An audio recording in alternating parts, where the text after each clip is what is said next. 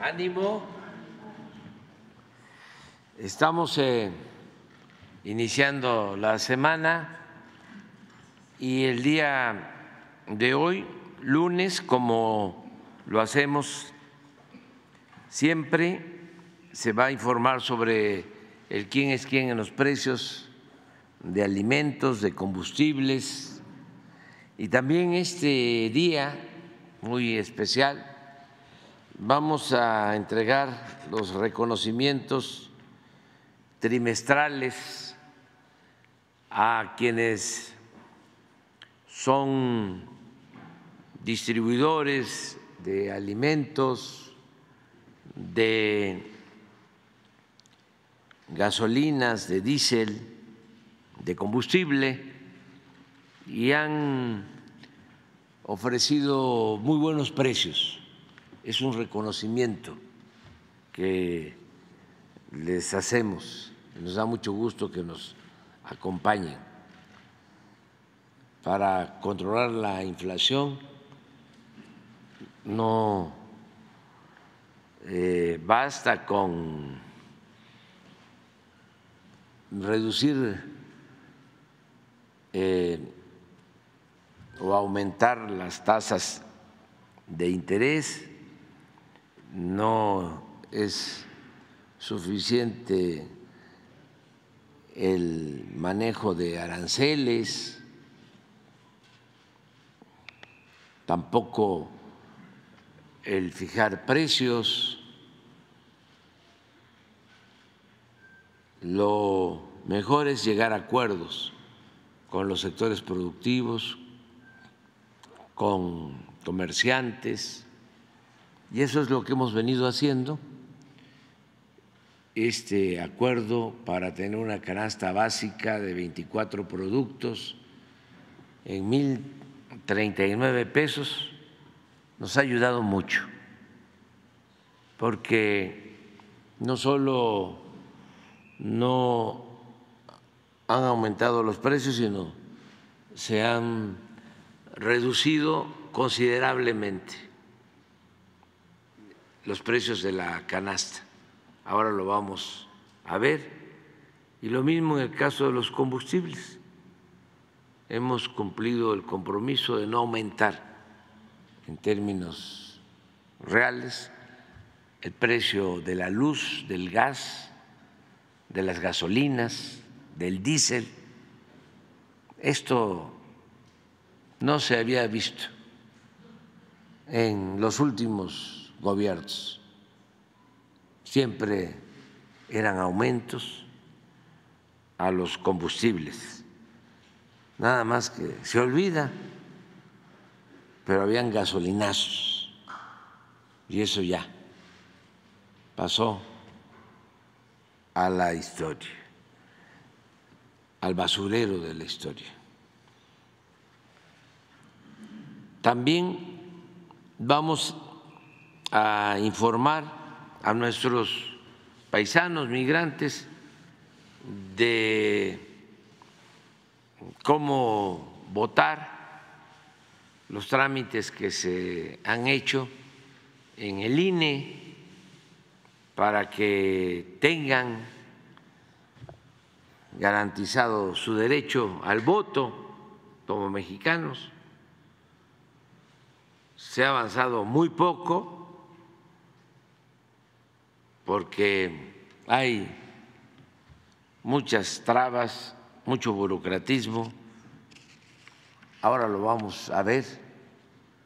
Eh, son millones los mexicanos que trabajan, que viven en Estados Unidos y los que tienen oportunidad de votar eh, son muy pocos. Esto hay que seguirlo atendiendo hacia adelante. Sí está avanzando eh, de la elección anterior a esta, pero muy poco. Y además lo que se está avanzando todavía eh, está enfrentando obstáculos, trámites burocráticos, eh, y es lo que estamos nosotros ayudando también con la aclaración que esto no corresponde a la Secretaría de Relaciones Exteriores, no corresponde a la Embajada de México en Estados Unidos, a los consulados.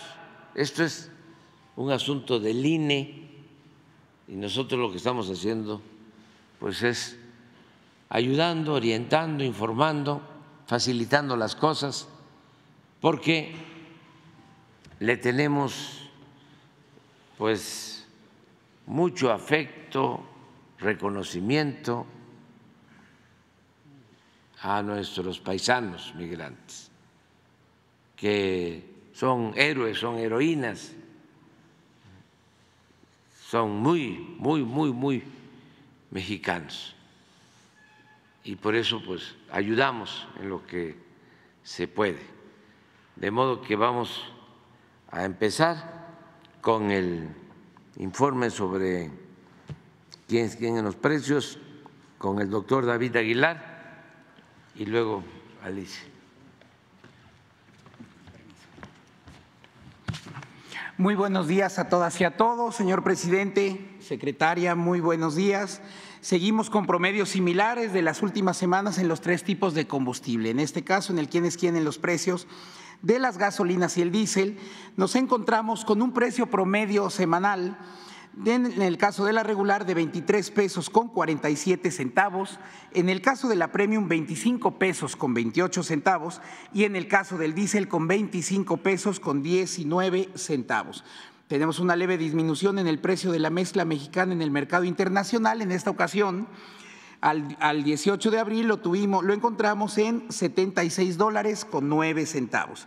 En el caso de los incentivos fiscales, nos encontramos con que la regular para esta semana tendrá 17.6%, la premium nuevamente no lo tendrá y en el caso del diésel será de 1.7%.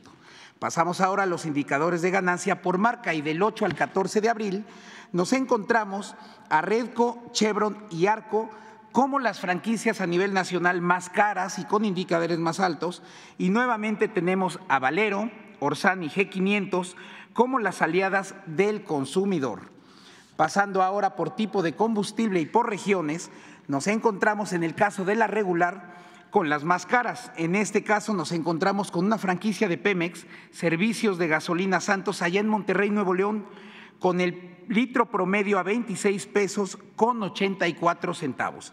Esto allá en la avenida Aaron Sáenz, 1800, en el municipio de Monterrey. Pero también tenemos casos con el combustible regular, en el caso de franquicia móvil, servicio Calimaya en Calimaya, Estado de México, con el litro promedio en 21 pesos con 69 centavos. Nos encontramos también algo importante, como lo hemos enfatizado hace alrededor de un mes, en este caso, en el caso de la regular franquicia Pemex en Apodaca, Nuevo León, con el litro en 21 pesos con 99 centavos, lo que nos da cuenta de que en ese estado, en esos municipios metropolitanos de la zona metropolitana de Monterrey sí se pueden dar, dar buenos precios. Pasamos ahora a la premium y en el caso de Winstar Gasolinera Javito en Cajeme, Sonora, nos encontramos con un precio promedio por litro de 27 pesos con 40 centavos. En Cadereyta, también allá en el estado de Nuevo León, nos encontramos con Oxogas con el litro de premium a 27 pesos con 39 centavos. Shell, por ejemplo, en la capital del estado de Colima en 27 pesos con 9 centavos. Sin embargo, buenos precios también en la premium. Una vez más, como lo hemos venido reiterando, Valero, gasolinera Medellín, allá en Medellín de Bravo, Veracruz, con el litro a 23 pesos con 19 centavos, únicamente con 29 centavos de indicador de ganancia. Tenemos franquicias como Petrum, Pemex, Repsol, Costco con precios similares, tanto en el noreste, sureste y centro del país. En el caso del diésel y la importancia que este combustible tiene dentro de la economía nacional, nos encontramos en Chilpancingo Guerrero con Capetrom, servicio Cajeles SADCB, con el litro en 26 pesos con 70 centavos aún con 1.83 pesos de indicador de ganancia. Nos encontramos también, por ejemplo, Chevron, allá en Culiacán, Sinaloa, con el mismo precio y un indicador de ganancia de 1.39. Pero tenemos también buenas noticias en este combustible tan importante. G500 en Tlanepantla, aquí cerquita, en el Estado de México, 23 pesos con 89 centavos por litro, únicamente 17 centavos de indicador de ganancia. Pemex y Full Gas en Coatzacoalcos y Monterrey con precios dentro de los 23 pesos. En Chiapas, Yucatán, Chihuahua, Michoacán, estamos hablando de precios alrededor de los 24 pesos. Pasando ahora al tema de verificación, del 12 al 18 de abril de este año, eh, atendimos 405 denuncias, realizamos 384 verificaciones y o visitas de constatación. En este caso, todas las gasolineras que fueron verificadas este, no impidieron que realizáramos esos procedimientos. Encontramos en Michoacán una estación de servicio que se negó a la colocación de sellos de inmovilización y dos gasolineras con irregularidades en dar litros de a litro, una en Hidalgo y otra en el estado de Veracruz. Pasando ahora al quiénes quieren los precios del gas LP, como le hemos venido comentando, es un mercado ya muy estable desde que también se han, se, han impuesto los precios máximos por parte de la CRE, la Comisión Reguladora de Energía. Ha habido una armonía importante con las empresas, con los distribuidores. Y tenemos que al 17 de abril de este año, en el referente internacional, el gas por kilogramo ya convertido a litros y pesos, o a kilos en este caso, estuvo en 21 pesos con 74 centavos el kilo. Y en el promedio nacional aquí en el país es de 19 pesos con 39 centavos. En el caso del gas estacionario por litro, en el referente internacional 11 pesos con 77 centavos y en el mercado nacional 10 pesos con 46 centavos de las 884 verificaciones que se realizaron en este periodo, todas cumplieron con los precios máximos establecidos por la CRE, como ya les había mencionado, en las 220 regiones. Vamos ahora en el caso del gas estacionario específicamente, el que se vende por litro, encontramos precios iguales o por debajo del máximo respectivo por región. Y así tenemos una vez más, como ha aparecido en otras ocasiones, GG Gas, en San Simón de Guerrero, Estado de México, con el litro de gas a 10 pesos con 11 centavos, 51 centavos por debajo de su máximo. Casos también en Michoacán, Guerrero, Puebla, Veracruz, Guanajuato, entre otros. En el caso del gas por kilo, el que, el que compramos en cilindro, también tenemos precios máximos que están igual o por debajo. En el caso de gas de Chetumal, en Bacalar, Quintana Roo, nos encontramos con el kilo en 19 pesos con 41 centavos, 76 centavos por debajo de su máximo. Casos también muy similares por debajo del, precio máximo en Jalisco, Guerrero, Guanajuato, Chiapas, Estado de México y Nayarit. Eh, regresando al tema de las verificaciones, como les comentaba, de las 884 que se realizaron, solamente con infracción obtuvimos una, se inmovilizaron un vehículo y tres cilindros por cuestiones de inseguridad. Pasamos ahora al tema de la canasta básica de 24 productos, la que ya comentó el señor presidente, y reiteramos nuevamente que, como lo podemos ver en la gráfica, después del arranque del año, como es un proceso cíclico, el índice nacional de precios al consumidor en el rubro de alimentos ha disminuido a la fecha y sigue manteniéndose estable. Seguimos con precios en esta canasta de 24 productos ya por debajo, muy por debajo de los 1.039 pesos, que es la referencia y el compromiso que se ha hecho con el gobierno de México entre las tiendas departamentales, Antad, Grupo Walmart, etcétera.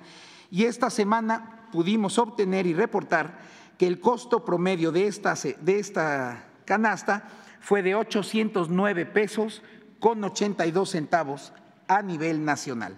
Pasamos ahora por zonas. En el caso de la zona centro, entre el 8 y el 12 de abril, nos encontramos con Walmart, sucursal Tlalpan, aquí en la delegación Benito Juárez, en Ciudad de México, con este paquete en 938 pesos con 90 centavos. Pero también tuvimos a Bodega Horrera, Unidad Las Américas, en la capital del estado de Querétaro, con esta canasta en 739 pesos cerrados un poco más al norte, en la zona centro-norte. En este mismo periodo, Chedragui Altozano, en la capital de Michoacán, en Morelia, 999 pesos con 60 centavos. En Guadalajara, Jalisco, Bodega Urrera, sucursal Arboledas, 779 pesos con 60 centavos. Y en la zona norte tenemos del 8 al 12 de abril, reitero, en Walmart Tijuana, sucursal Hipódromo, en Baja California esta canasta en 992 pesos con 70 centavos.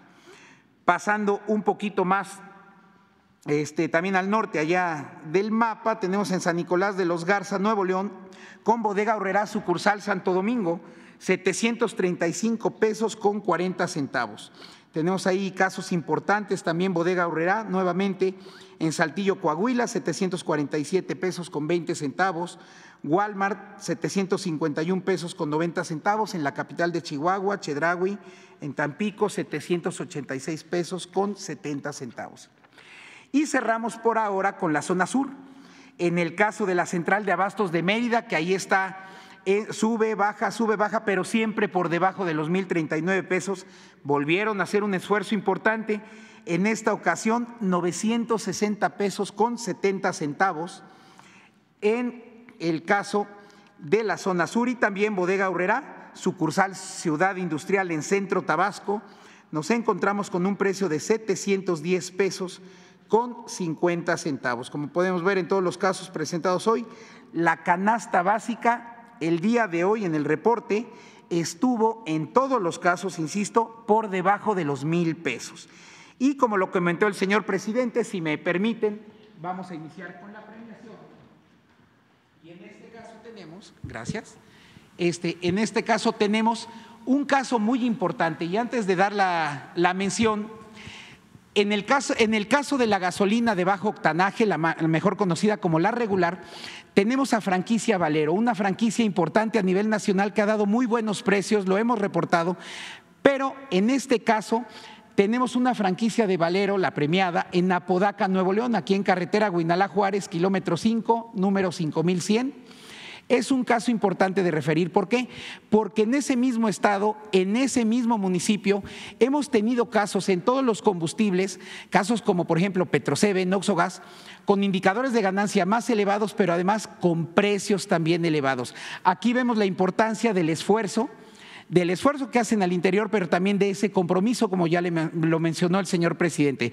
Entonces le pedimos a Brenda Jacqueline Guerra Durán, representante de esa estación de servicio, franquicia Valero, directora de administración, que pase por favor para recibir su reconocimiento.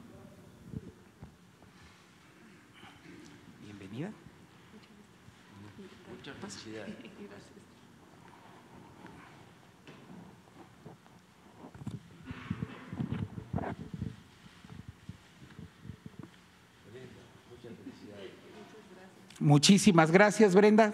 Adelante. Y en el caso de la gasolina, gasolina de alto octanaje, tenemos también una franquicia que hemos reiterado de manera importante, que es G500. A nivel nacional la tenemos en los indicadores de ganancia, generalmente aparece entre las más bajas de precios más bajos, más aliadas de los consumidores. Y en este caso nos acompaña Manuel Cerda Morales, de la estación director general de la estación de servicio en Lázaro Cárdenas, Michoacán, en Avenida Melchoro Campo, número 77, Fideicomiso, segundo sector. Muchas gracias. Bienvenido, Manuel. Adelante, por favor.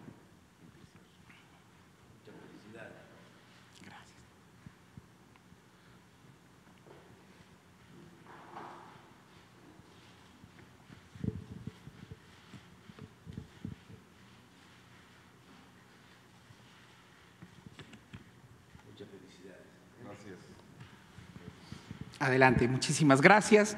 Y en el caso del diésel, como ya lo mencioné, sabemos la importancia de este combustible, tenemos franquicia Pemex y tenemos a Gildardo Santos López, que nos acompaña, es el gerente operativo de esta estación en Tuxtla Gutiérrez, Chiapas, en la carretera Chicoacén 2220, fraccionamiento centenario. Bienvenido, es el mejor precio que en el primer trimestre nos dieron en el caso del diésel. Un precio de 24 pesos con 53 centavos en promedio. Bienvenido.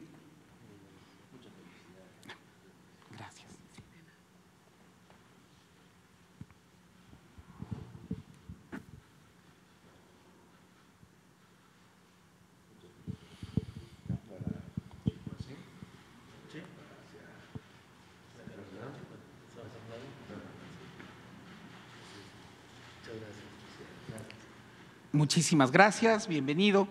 Y pasamos ahora al tema de las tiendas de autoservicio. Es un caso muy importante, como vemos en las premiaciones anteriores ha habido otras cadenas, pero en este caso también vale la pena, como en su momento lo mencioné algún lunes, el esfuerzo que ha hecho Grupo Walmart, particularmente en su formato de bodega horrera. Lo hemos visto reiteradamente semana tras semana, semana tras semana, cada vez aparecen más, alternan con otras cadenas, también hay que decirlo, pero en este caso fue muy importante el esfuerzo que Bodega Horrera hizo y nos acompaña Juan Manuel Eugeni, vicepresidente de Bodega Horrera por el precio más bajo en promedio en el primer trimestre, con una canasta de 778 pesos con 33 centavos. Importante también mencionar el esfuerzo de Chedraui y Soriana, pero en esta ocasión, bienvenido, es importante este reconocimiento para Bodega Horrera.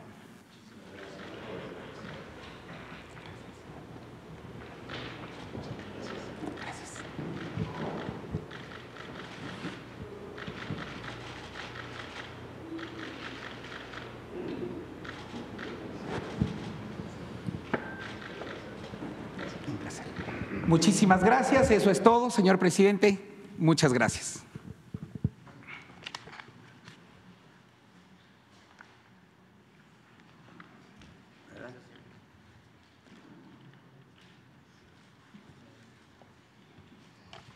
Muy buenos días a todos, a todos con su permiso, señor presidente. Presento a ustedes la información de votos de mexicanos y mexicanas residentes en el exterior, en el extranjero. Eh, tenemos aquí, eh, exacto, aquí vemos cómo en 2006 había 40.976, perdón, 876 eh, este, registrados en, en 2012 59 mil, en 2018 hubo un aumento importante a 181 mil 873 y al 2024 227 mil 102. Sigue siendo un número bajo para la, cantidad de mexicanos que hay en el exterior y por lo tanto eh, el, INE, que es el responsable de toda esta actividad facilitada por nosotros, eh, ha establecido tres modalidades, la postal, electrónica y presencial. La presencial se dará solo en 23 casillas en el exterior, que son 20 sedes en Estados Unidos, que aquí están Atlanta, Chicago, Dallas, Fresno, Houston, Los Ángeles, New Brunswick, Nueva York, Oklahoma, Orlando, Phoenix, Raleigh, Sacramento, San Bernardino, San Diego, San Francisco, San José, Santana, Seattle y Washington, y tres fuera de Estados Unidos, Montreal, Madrid y París. Esto es porque el 97% de los registrados se dieron en Estados Unidos.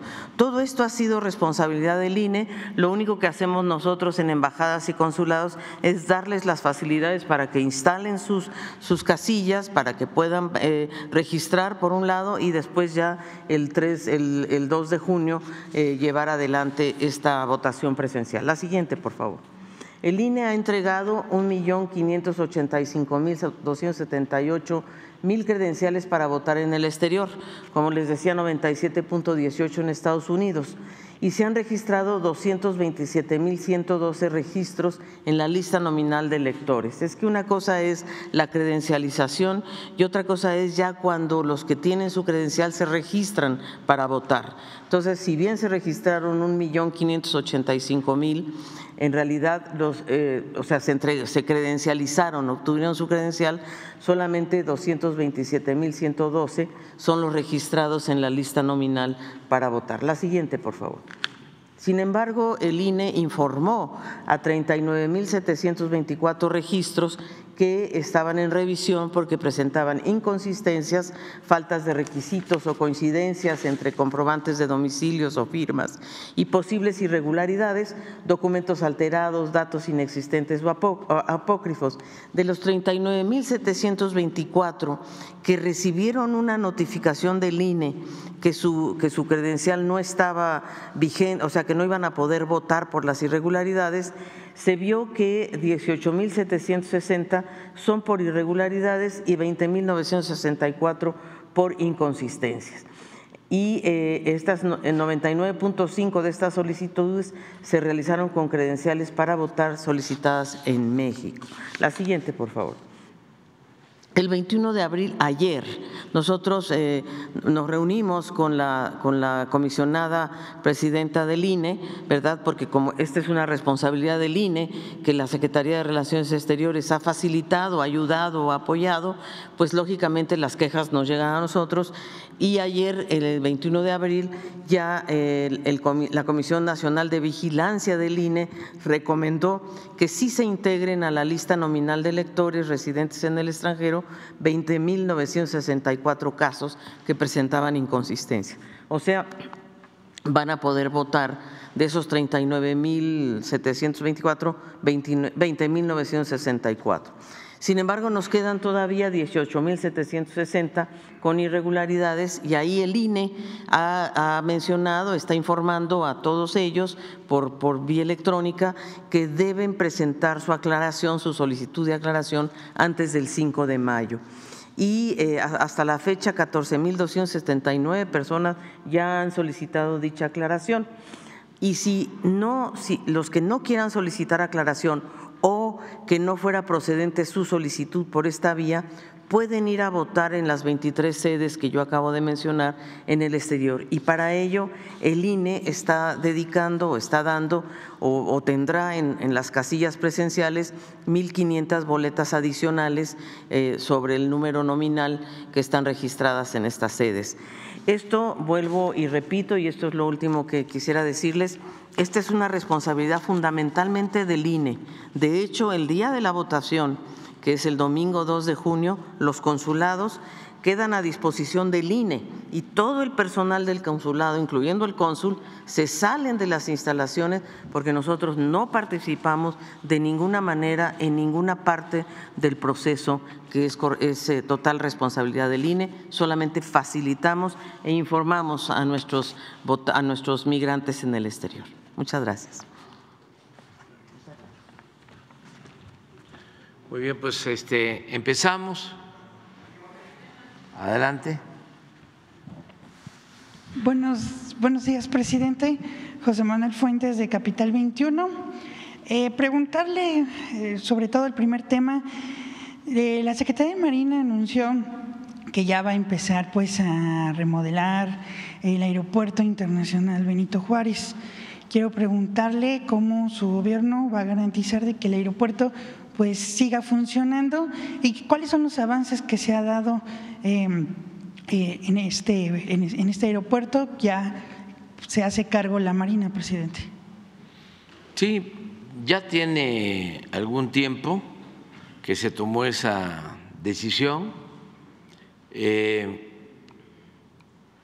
ya la operación del aeropuerto Benito Juárez en la Ciudad de México está a cargo de la Secretaría de Marina y como he sabido, el aeropuerto Felipe Ángeles está a cargo de la Secretaría de la Defensa. También el aeropuerto de Toluca eh, está a cargo de Marina. Los aeropuertos del Valle de México.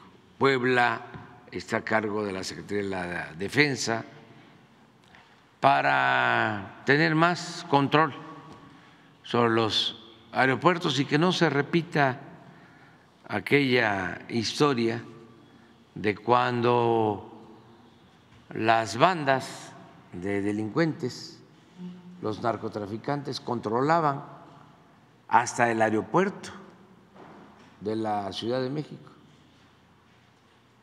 Eso ya eh, no puede ocurrir y en el tiempo que lleva la Secretaría de Marina a cargo del aeropuerto de la Ciudad de México hay avances notorios, no hay el número de robos que prevalecía eh, en otros tiempos, robo de maletas, hay mucho más eh, control. También en cuanto a contrabando, migración y control de drogas. hemos eh, hecho el compromiso aquí de que va a estar con nosotros el director del aeropuerto de la Ciudad de México,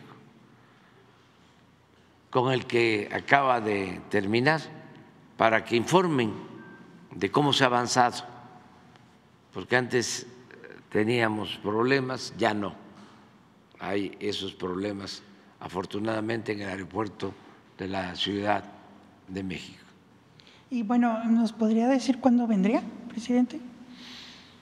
Pues quedamos en hacerlo, ¿no? Este, Jesús, eh, pronto, a ver si podemos organizarlo para la semana que viene, que, que estén aquí para informarles de todo lo que se hace. Yo creo que este, va a estar interesante.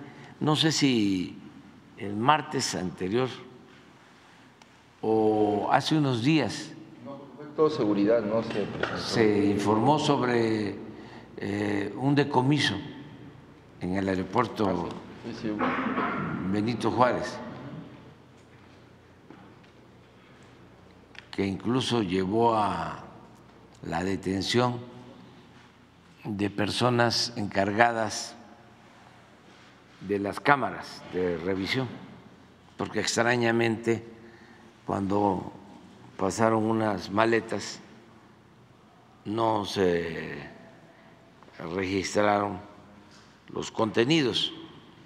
Y se hizo la investigación y hubo eh,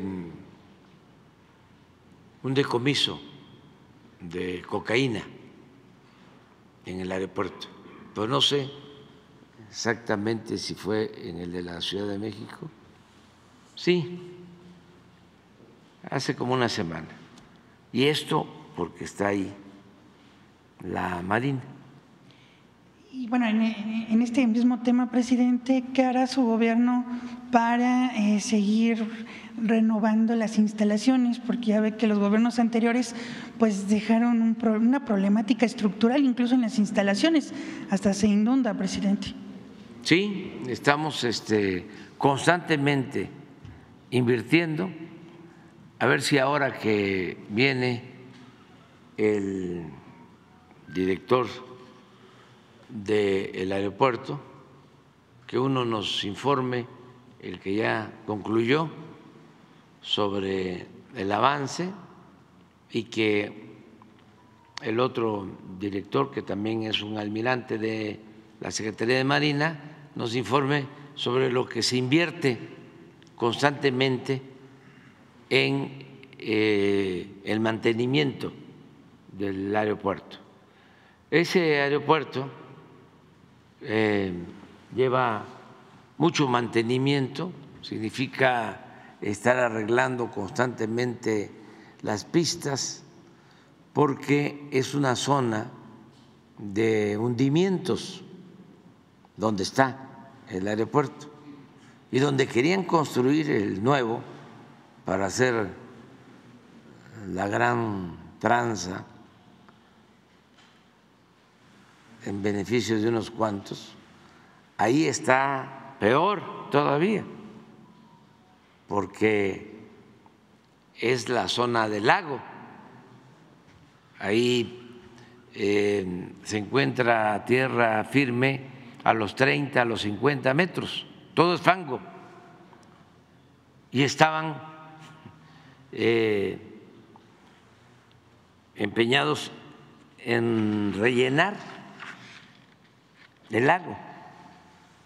Eh, acabaron con varios cerros de esa región, porque era un buen negocio para los que estaban construyendo el aeropuerto, las empresas este, constructoras y los funcionarios corruptos.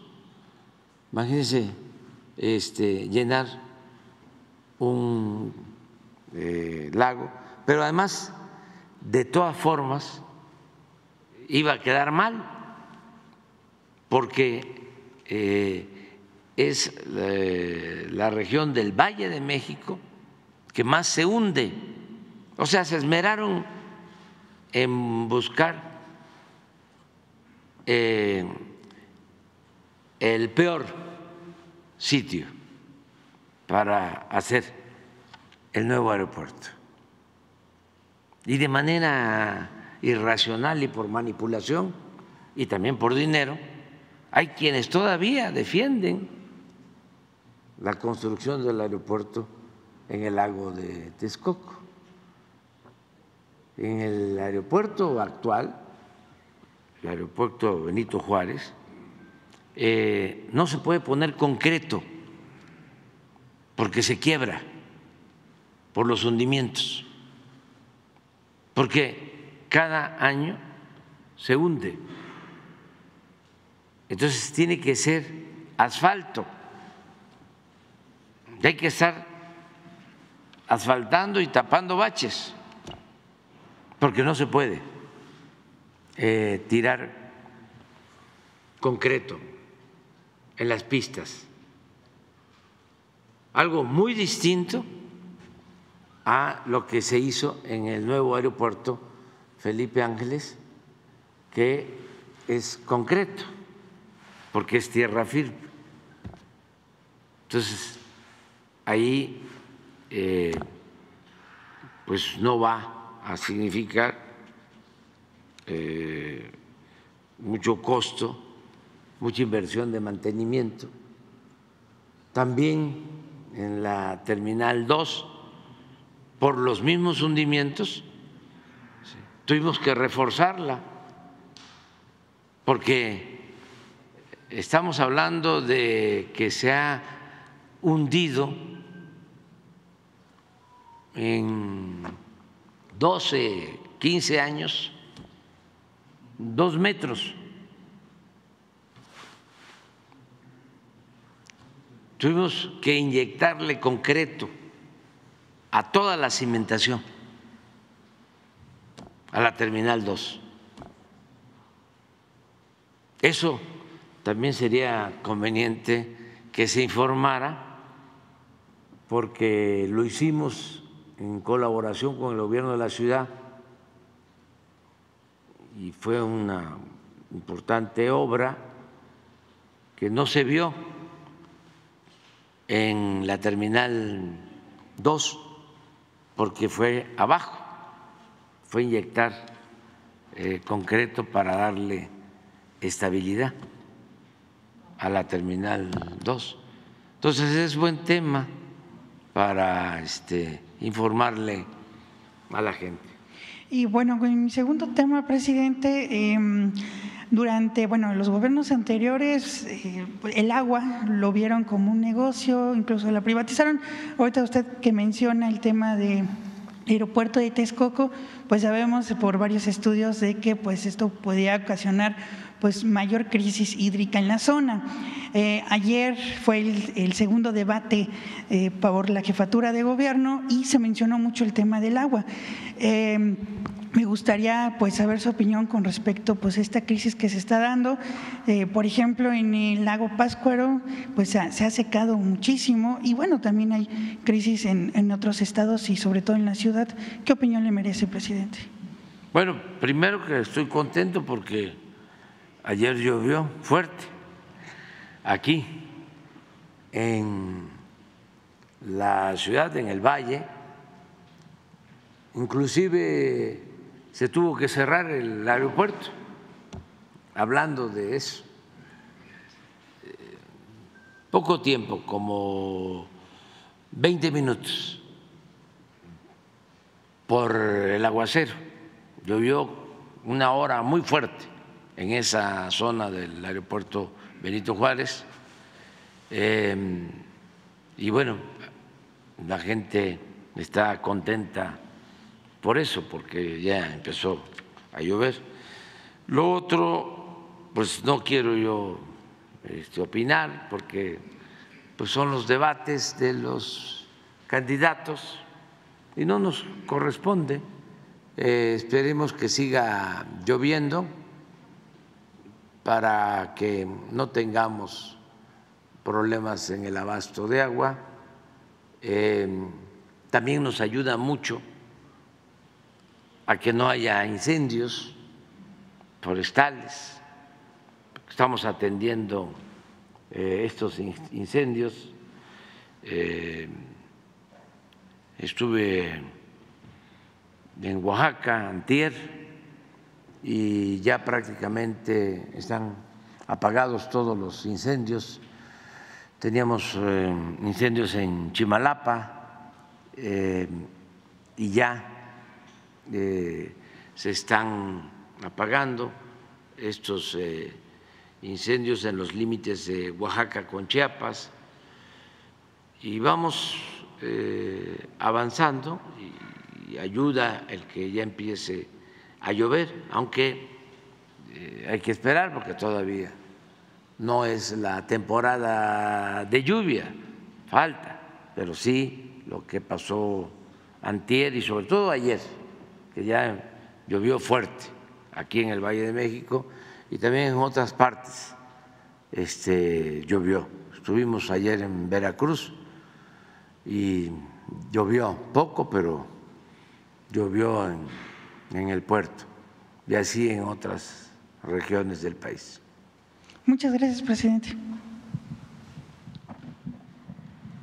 ¿Qué tal, presidente? Carlos Guzmán de Cuatro Media Telecomunicaciones a Noticias Veracruz. Pues consultarle lo que pasó ayer en la tarde con una de las candidatas no sé si ya leyeron el informe en esta mesa de seguridad que lleva todos los días. Eh, fue algo extraño, decía el aspirante presidencial, eh, un retén, un, cuando los paran, usted le ha tocado que cuando va a gira, la gente, la, gente lo detiene, le entrega demandas, le entrega, pero en esta ocasión eh, le abordaron un grupo de aproximadamente ocho encapuchados, vestidos de negro, y eh, le hicieron una petición que no deje solos a los pueblos de la montaña y también a la parte que está colinante con Guatemala, el estado de Chiapas. Es preguntarle, consultarle si le dio un informe, qué es lo que podría haber ahí o qué es lo que le comentaba en la mesa de seguridad, presidente. Pues este, tenemos la información, eh, sí fueron personas eh, encapuchadas las que detuvieron la eh, camioneta, el carro en el que se trasladaba Claudia, eso lo puedo decir. Em, grabando, ya cuando pasan esas cosas, por la experiencia que nosotros tenemos, ya sabemos de que eh, es eh, muy probable que sea propaganda, porque el que va a hacer un planteamiento ni va encapuchado ni está grabando. Aquí adicionalmente eh, se dio a conocer que estaban los de latinos. Es un medio, el de Loret de Mola, y era el único para tener el antecedente, porque este completo, Loret de Mola está en contra de nosotros, según Pedro Ferriz, está financiado Loret de Mola por Roberto Madrazo, que también está en contra de nosotros. Y eh, uno de los últimos montajes que hizo lo de, Mola fue entrevistar también a un encapuchado eh, Guerrero, dirigente de un grupo de la delincuencia en Guerrero. Lo entrevistó. Eh, quién le facilitó la llegada a este eh, dirigente de ese grupo, porque lo hizo. Ah, pero para hablar mal de mí, en el contexto, eh, en el marco de la campaña de presidente narcotraficante, AMLO, narcotraficante AMLO presidente narcotraficante, narcopresidente, sí.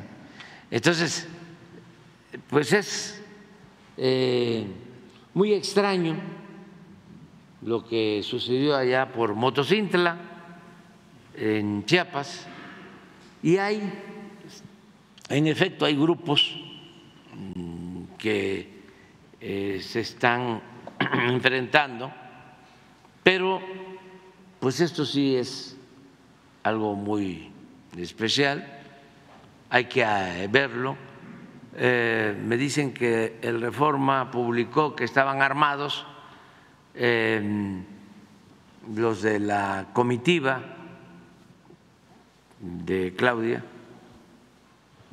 quienes este, la acompañan, eh, informaron que no, estaban armados.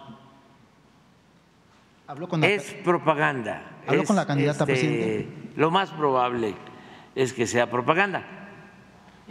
Eh, no, no hablé con ella, pero este, pues eh, la conozco bastante bien y sé que es, ya saben lo que pienso, ¿no? No soy objetivo en este caso, porque la considero muy inteligente. Se va a investigar. Es una mujer este, con carácter, con más allá, aplomo. más allá del tema político, presidente, ¿se va a investigar el tema? Sí, pero este no creo que eh, sea algo grave. Eh, En la- en la es lograr este propósito, que hasta yo mismo estoy este, em, contribuyendo, el amarillismo, este, la, la, la propaganda. Es que eh, no les funcionó narcopresidente. Se gastaron creo que 5 millones de dólares en la campaña, en México, solo en México, 5 millones de dólares. No les funcionó. Eh, estaban apostando a la sequía, a que no lloviera, y ya llovió ayer, a que faltara el agua. Están apostando a la violencia, andan sopiloteando. Y nada, afortunadamente, les está funcionando. Me refiero a los conservadores corruptos, a los que quieren que regrese la corrupción, a los que quieren regresar por sus fueros. Nada más que eso ya no se permite en México. Todo indica de que no va a regresar el bandidaje oficial. Se van a tener que ir a robar más lejos, Pues a para- otra parte. Para concluir, presidente, ¿lo ve como un montaje entonces? Sí, es muy probable que sea un montaje. Muy probable, porque este, encapuchado, si alguien tiene una denuncia, ¿para qué se va a encapuchar? Y además dicen ahí que es pacífico. Pues si es pacífico. Todos los que andamos por los caminos de México nos paran la gente y nos entregan sus escritos. Incluso se quejan, pero sin taparse la cara. Y hay reclamos de la gente cuando no es atendida, pero ya cuando se tapan la cara y aparece, ¿no tienes ahí la imagen en donde está este Latinus? No, es que están muy desesperados. No sé qué les está pasando. No sé qué están viendo que los tiene tan nerviosos. No se serenan. En lo que encuentran el video, presidente. Ah, no, ya está. Ahí está, mire, ese micrófono.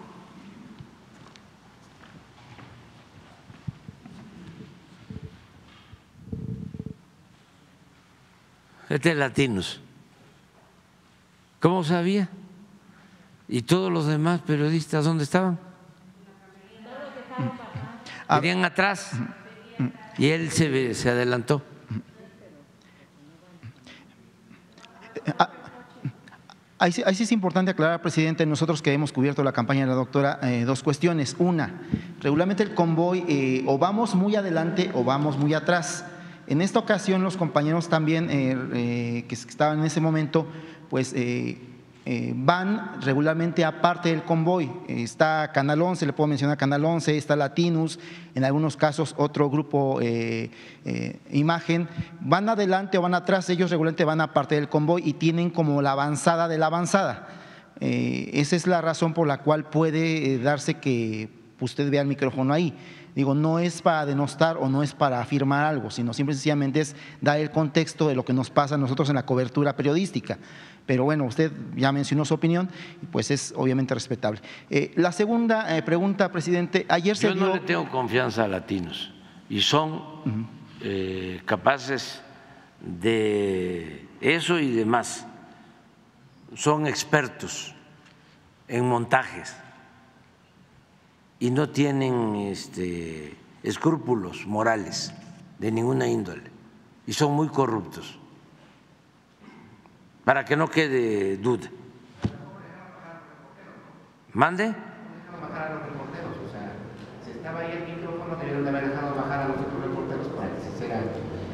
Sí, sí, pero bueno, ya.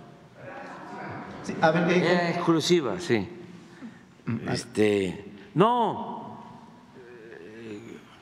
qué este, consideración pueden tener cuando está en alta la campaña de narcopresidente, que vienen los el New York Times, el periodista este premiado, el periodista más importante del mundo, Premio Nobel de Periodismo, que estoy esperando que aclare. Me gustaría que nos dijera por qué hizo ese reportaje, de parte de quién. Y eh, si en el contrato que tiene con la publicación, con el periódico, ¿es este escrito o es electrónico?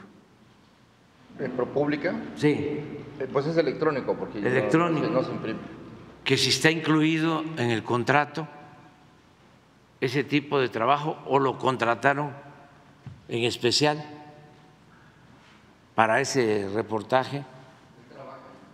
Ah, trabaja ahí y que si incluye, que se incluye hacer ese tipo de reportaje.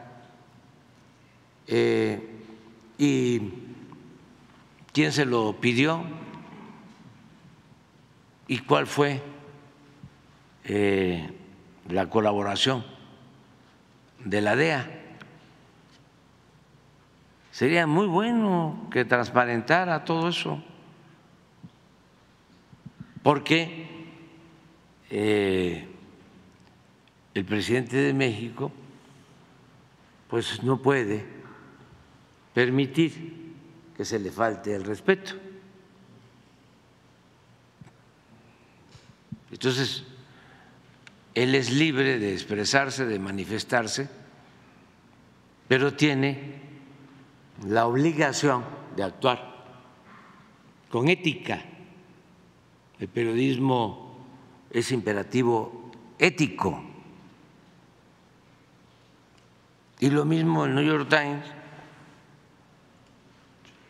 Y en ese contexto, en ese tiempo, cuando lanzan la campaña en Internet con el mensaje narcopresidente de cientos de millones de reproducciones, desde luego automatizadas, pagadas, con robots. En ese contexto sale lo de latinos. Hay que este, también recordarlo que en algún lugar, como se decía antes, en las guerrillas. Ah, bueno, desde algún lugar de las montañas. Desde algún lugar. Este, se hace una entrevista a un encapuchado que es el dirigente de una organización que actúa en la región de Chilpancingo y me acusa de lo mismo que manejó la DEA con este periodista famosísimo y que con el New York Times de recibir dinero para mi campaña. Entonces, eso es eh, latinos. Entonces, ahora que veo esto, pues no me da eh, confianza, me da este, sospecha, porque son capaces de muchas cosas. Afortunadamente, pues, repito, Claudia,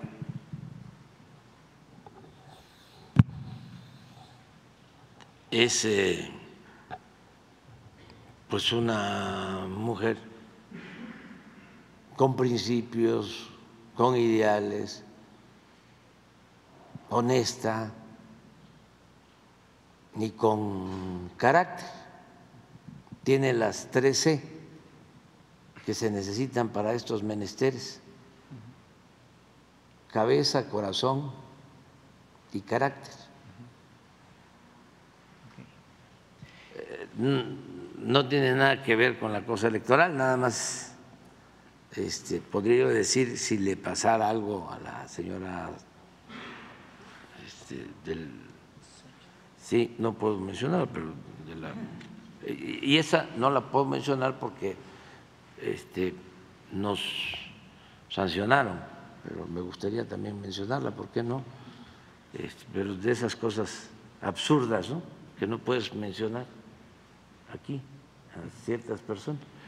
Pero si eh, le pasara algo así, yo también estaría defendiéndola y hablando igual.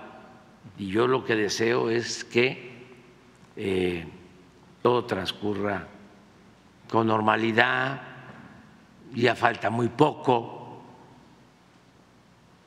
y con esto de la lluvia de ayer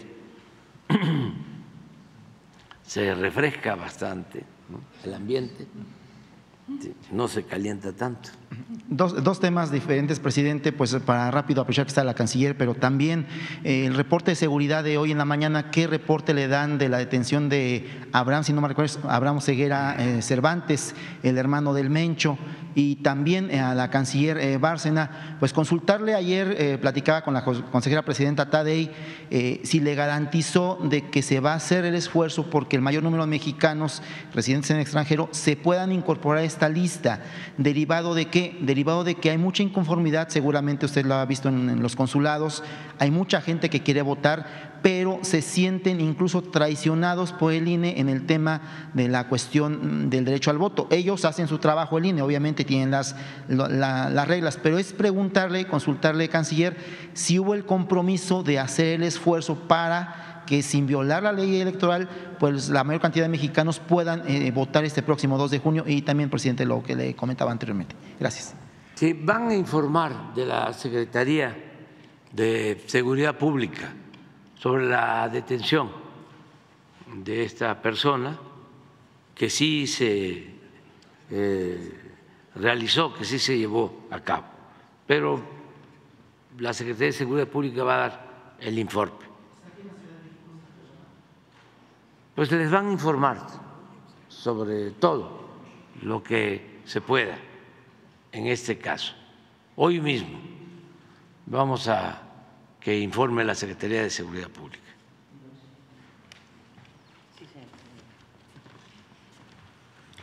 Sí, hemos tenido, eh, tuvimos una reunión el viernes con la comisionada del Instituto Nacional Electoral y, y fue muy importante porque ahí le hicimos saber de la inconformidad que hemos visto de parte de muchos mexicanos en el exterior. Y la verdad es que hicimos un gran esfuerzo de credencialización, o sea, hicimos mucha promoción, mucha... Y, nos ofreció, sí, que iban a, regularizar, o sea, de los, de los 200, en realidad fueron los que, los que se han registrado, son 227.112 registros, que no es lo mismo que la credencialización. O sea, la gente obtiene la credencial, que fueron un millón quinientos y tantos, y de ahí esas personas cuando reciben su credencial tienen que registrarse. Esos registros, y, lo hacen por, por, internet, o sea, no hay necesidad de ir a ninguna parte. Eh, de esos registros, esos registros son 227.112. Obviamente todavía hay chance de que se registren más. Ahora, eh, de esos 227 mil, el problema fue estos 39.724. El INE se comprometió ayer, ya en su reunión final de la Comisión Nacional de Vigilancia, se comprometieron a que 20.964 casos pueden realmente, que presentaban inconsistencias, pueden, pueden entrar al registro. Nos quedan pendientes los 18.760 y ahí eh, nosotros lo que, lo que le hemos pedido al INE es pues que se informe bien que el 5 de mayo, que es el plazo para el cual pueden regularizar su situación, pues se les dé todas las facilidades. Y que si no se les puede dar el registro en la lista nominal, puedan ir a las casillas a votar, que son 20, en donde va a haber 1.500 boletas adicionales, pero ella nos ofreció también la posibilidad de que puedan votar electrónicamente en el, consulado. Y como le digo, nosotros solamente prestamos las instalaciones, les damos todas las facilidades, pero es una responsabilidad del INE. Nos preocupa, por supuesto, porque la comunidad mexicana en el exterior, pues es nuestra responsabilidad en las 20 casillas presenciales de Estados Unidos y en las tres fuera de Estados Unidos. Ahí va a haber posibilidades de votar electrónicamente. Aparte de los que ya están inscritos para votar electrónicamente, los que sí ya tienen todos sus papeles en orden, pero va a haber 1.500 eh, boletas adicionales para que voten presencialmente, como se hacen las casillas de emergencia, y también van a tener posibilidades de votar ahí mismo electrónicamente. Y todo eso lo va a manejar el personal del INE. Nosotros, como le decían los consulados, nos salimos, todo el personal, no participa nadie del consulado, entra directamente el personal del INE a, las instalaciones. Para aclarar, sería presidente de la República, diputado federal eh, por eh, mayoría relativa, no representación proporcional y también senador de la República por la misma vía. Nada Exacto. más. Y pueden, los que sean de ciertos estados pueden votar por los gobernadores. Sí, o sea, si son de Zacatecas o son de, no sé, de, de Yucatán, ¿no? De los, donde están los estados que, que se van a abrir a votación. Casilla electrónica. En la misma casilla. Muchas gracias, canciller. Adelante. Presidente, buenos días. Fanny Martínez, reportera de La Verdad Noticias. Preguntarle si nos pudiera dar un informe de cómo va el tren Maya, sobre todo en el tramo 5, que es el que ha registrado más incidentes, para ver si nos pudiera dar una actualización de cómo va ese tramo y en qué punto va a dejar la obra una vez que finalice su sexenio. Bueno, va avanzando muy bien esta eh, semana, este fin de semana voy a la supervisión, eh, visito la obra y la operación ya del tren Maya cada 15 días y ahora me corresponde. El pasado fin de semana pues estuve en Guerrero, estuve en la Costa Chica, en Markelia, me reuní con los presidentes municipales de la montaña de Guerrero y con los presidentes municipales de la Costa Chica de Guerrero. Eh, hicimos un trabajo de evaluación de todo lo que estamos haciendo de manera conjunta también con el gobierno de Guerrero. Eso fue el viernes eh, en la mañana, al mediodía, y luego estuve en la convención bancaria, en la clausura, en Acapulco, y el sábado eh, evaluamos caminos artesanales en Oaxaca, en Oaxaca, y también este, evaluamos la construcción del camino de Oaxaca a Tehuantepec, que queremos terminarlo en agosto. Tiene túneles, puentes, viaductos, son 160 kilómetros, pero eh, es la sierra es un camino complejo, pero son muy buenos los ingenieros civiles nuestros y se está avanzando. Esto va a ayudar a que en vez de hacer cinco o seis horas, y en el caso de comunidades hacían hasta diez horas para llegar a Oaxaca y ahora con los caminos artesanales y con esta carretera, dos horas y media, tres horas. Mm, una cosa increíble. Entonces, y luego estuvimos en Salina Cruz, porque estamos construyendo una coquizadora para eh, tratar combustóleo y convertirlo en gasolinas. Es una obra muy importante como de 2.500 millones de dólares, pero nos va a ayudar mucho en el propósito de que ya eh, no tengamos que comprar la gasolina en el extranjero, que todo se produzca en México. Y con estas plantas toquizadoras lo que se consigue es convertir el combustible en gasolinas y además eh, que haya menos contaminantes. Estamos haciendo dos, una en Tula y otra en Salina Cruz. Y eh, ayer en Veracruz porque fuimos a recordar, eh, a conmemorar la defensa del puerto de Veracruz cuando la invasión estadounidense del 21 de abril de 1914. Y eh, estuvimos en Veracruz, también supervisé dos obras que son muy importantes, una, un museo en la casa que habitó el presidente Juárez cuando llegó a Veracruz durante la guerra de reforma. Se adquirió la casa y se está arreglando. Y también ya está por terminarse el Museo de las Leyes de Reforma en otro sitio, porque ahí se expidieron en Veracruz las leyes de reforma. Y es algo histórico, bueno, es lo que consideramos nosotros la segunda transformación de México.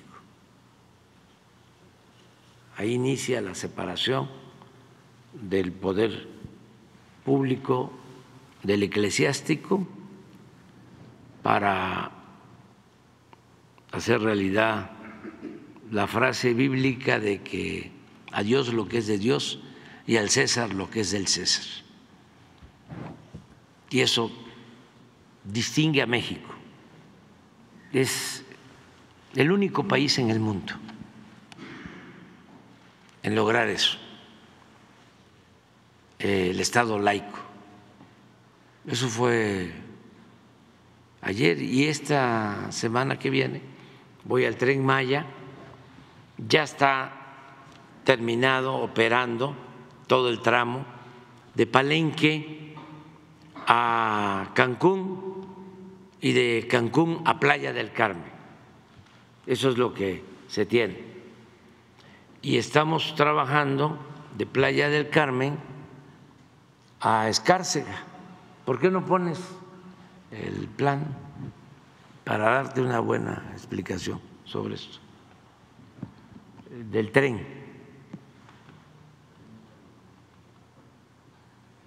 Es una gran obra em, hecha en tiempo récord. No hay un tren en el mundo que lo hayan hecho en tan poco tiempo, porque son 1.554 kilómetros y lo vamos a concluir, va a quedar terminado completamente. Y vaya que enfrentamos problemas,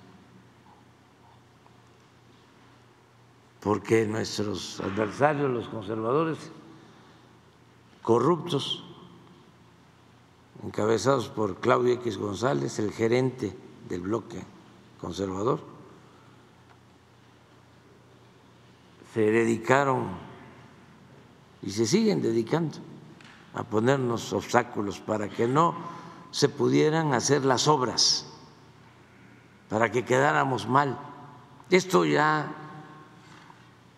es este muy frecuente en la derecha, en el conservadurismo corrupto.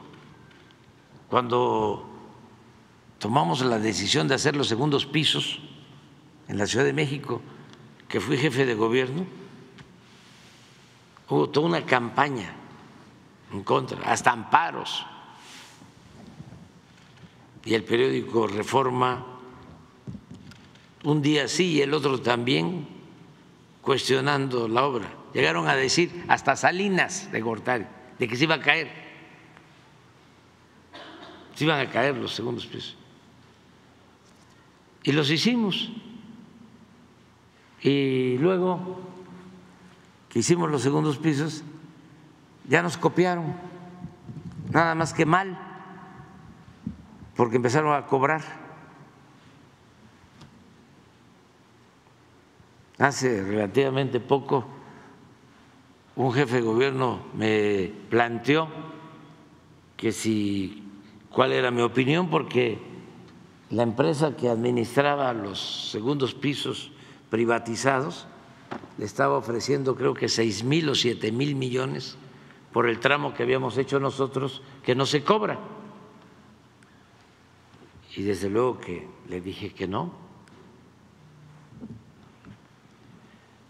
Este, y ahora pues hay segundos pisos por todos lados. Y ayudó mucho, porque en el caso de la ciudad, pues ya no se pueden ampliar las calles, se tendrían que tirar las casas, como cuando se hicieron los ejes viales, pero sí se puede irse hacia arriba y se utiliza el derecho de vía. Se amplía la superficie de rodamiento sin afectaciones.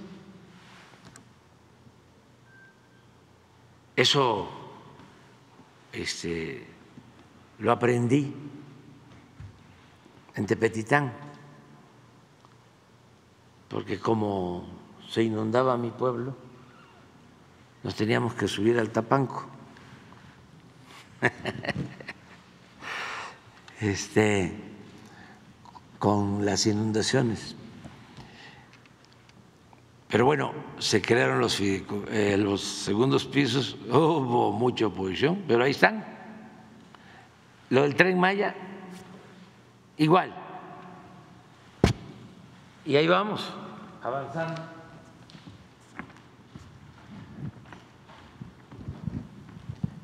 Para los conservadores, nada más recordarles que se empezaron a construir, y sobre todo para los jóvenes, que son los que más me importan y me interesa que tengan toda esta información, porque ya nosotros vamos de salida. Eh, los ferrocarriles de pasajeros se empezaron a construir en México en la época del presidente Juárez y el primer ferrocarril de pasajeros que se inauguró pues fue el de la Ciudad de México a Veracruz. Lo inauguró en 1873 el presidente Sebastián Lerdo de Tejada. Es el primer ferrocarril. Y luego que llega Porfirio Díaz eh, al poder y se queda 34 años, pues le dio tiempo para hacer alrededor de 20 mil kilómetros de vías férreas y comunicó todo México con ferrocarriles. Por eso la revolución se hizo a caballo y en ferrocarril. Después de la revolución se terminó de comunicar al país con ferrocarril. Este ferrocarril, por ejemplo, del sureste hasta Mérida, se, se inauguró en 1950, lo inauguró el presidente Miguel Alemán, se inició antes con el presidente Cárdenas, cuando era secretario de Comunicaciones el general Francisco J. Mújica, se proyectó el ferrocarril del sureste, porque antes del ferrocarril antes de 1950, toda la comunicación era por mar y por ríos. Aquí están los ríos más grandes de México.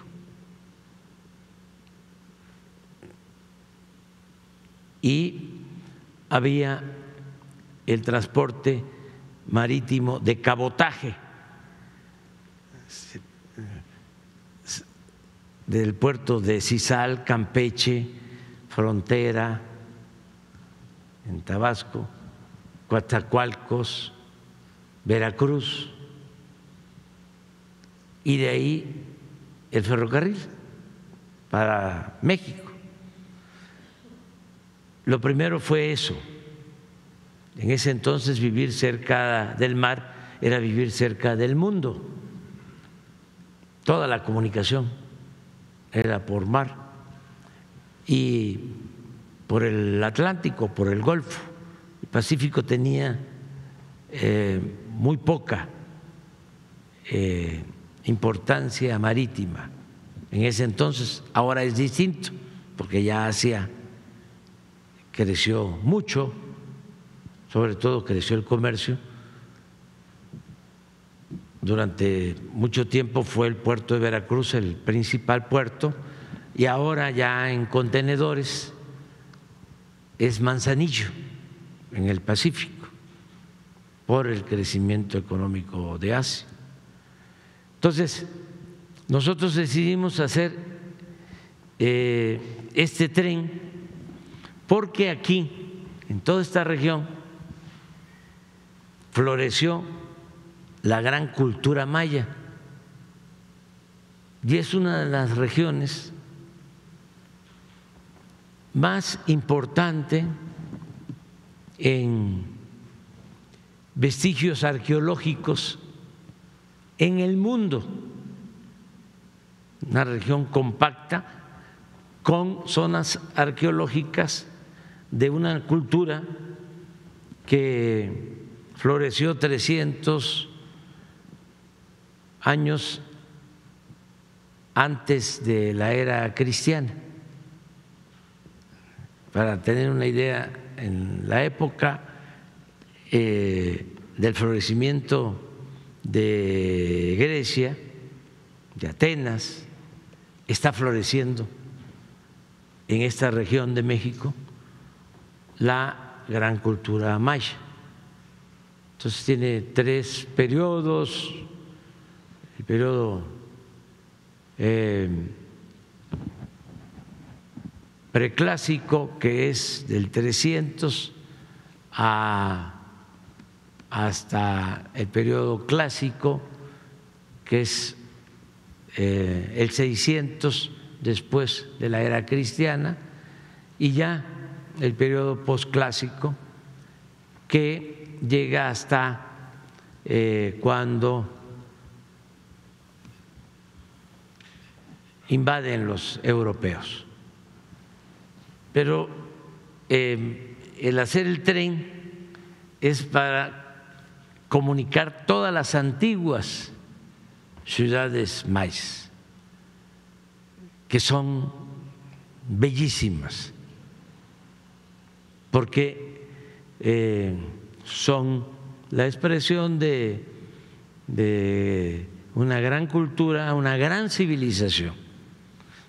Entonces empezamos aquí en Palenque, eh, aquí está Boca del Cerro, Aquí está el río Usumacinta, este río nace en Guatemala. También en Guatemala hay zonas arqueológicas mayas, porque era toda una región. Antes de que existieran estos límites territoriales, pues em, era Mesoamérica y la cultura maya florece pues eh, en Honduras, en Guatemala, México, toda esta, toda esta región. Entonces, eh, eh, esta línea de Palenque por el Golfo ya se terminó y ya llegó acá. Estos son como 850 kilómetros. Esto ya está terminado. Ya estamos hablando de nueve trenes y está por llegar mañana pasado el décimo, el tren número 10. Se están construyendo los trenes en eh, Ciudad Sagún, en Hidalgo. La empresa francesa Alstom está construyendo los trenes. Eso también fue importante porque el contrato con Alstom permite crear empleos en México. Bueno, esto ya está terminado. Eh, se encargaron cuatro empresas, aquí el tramo 1, Motangil, hasta aquí, aquí hasta Calquiní, es Carso, de Calquiní hasta adelante de Tella, hasta Izamal, Indi, y esto lo hizo ICA. Ya está terminado eh, completamente. Este tramo nos costó mucho trabajo porque es eh, el tramo de más casticidad, de suelo más eh, vulnerable, de cenotes, de ríos eh, submarinos. Cuando construyeron todos estos hoteles, no había aquí eh, ambientalistas, no se daban permisos ambientales y pues hacían lo que querían. Pues, por aquí está Calica, aquí, aquí en Playa del Carmen, que es una empresa que tiene un banco de materiales, sacan grava de aquí, tienen un puerto y se llevan la grava para construir calles y carreteras en Estados Unidos. Y nadie decía absolutamente nada. Cuando decidimos hacer el tren, surgen aparecen como hongos después de la lluvia muchísimas asociaciones de pseudoambientalistas vinculados con Claudio X González, con nuestros adversarios. Sin embargo, nosotros hemos tenido un cuidado especial en no afectar el medio ambiente, al grado de que eh, de Tulum a Cancún, que son 120 kilómetros, aquí, donde hay más ríos subterráneos y más casticidad, aquí eh, no estamos haciendo el tren a ras de tierra, no es nada más un terraplén, sino es un puente, un viaducto. Son 80 kilómetros de viaducto. Es decir, eh, el tren va arriba para no afectar la zona. Se hizo un estudio especial y se cuida que no se afecten ríos subterráneos, cenotes. Tuvimos un problema eh, por aquí, por aquí, en este, una caverna, al poner una columna, hicieron pues todo un escándalo, ya estamos eh, limpiando, reparando todo y resolviendo el problema. Se decidió hacer un puente atirantado con un claro de 200 metros. Es decir, eh, eh, no vamos a fijar columnas, sino va a ser un puente eh, atirantado. Y esto nos significa una demora.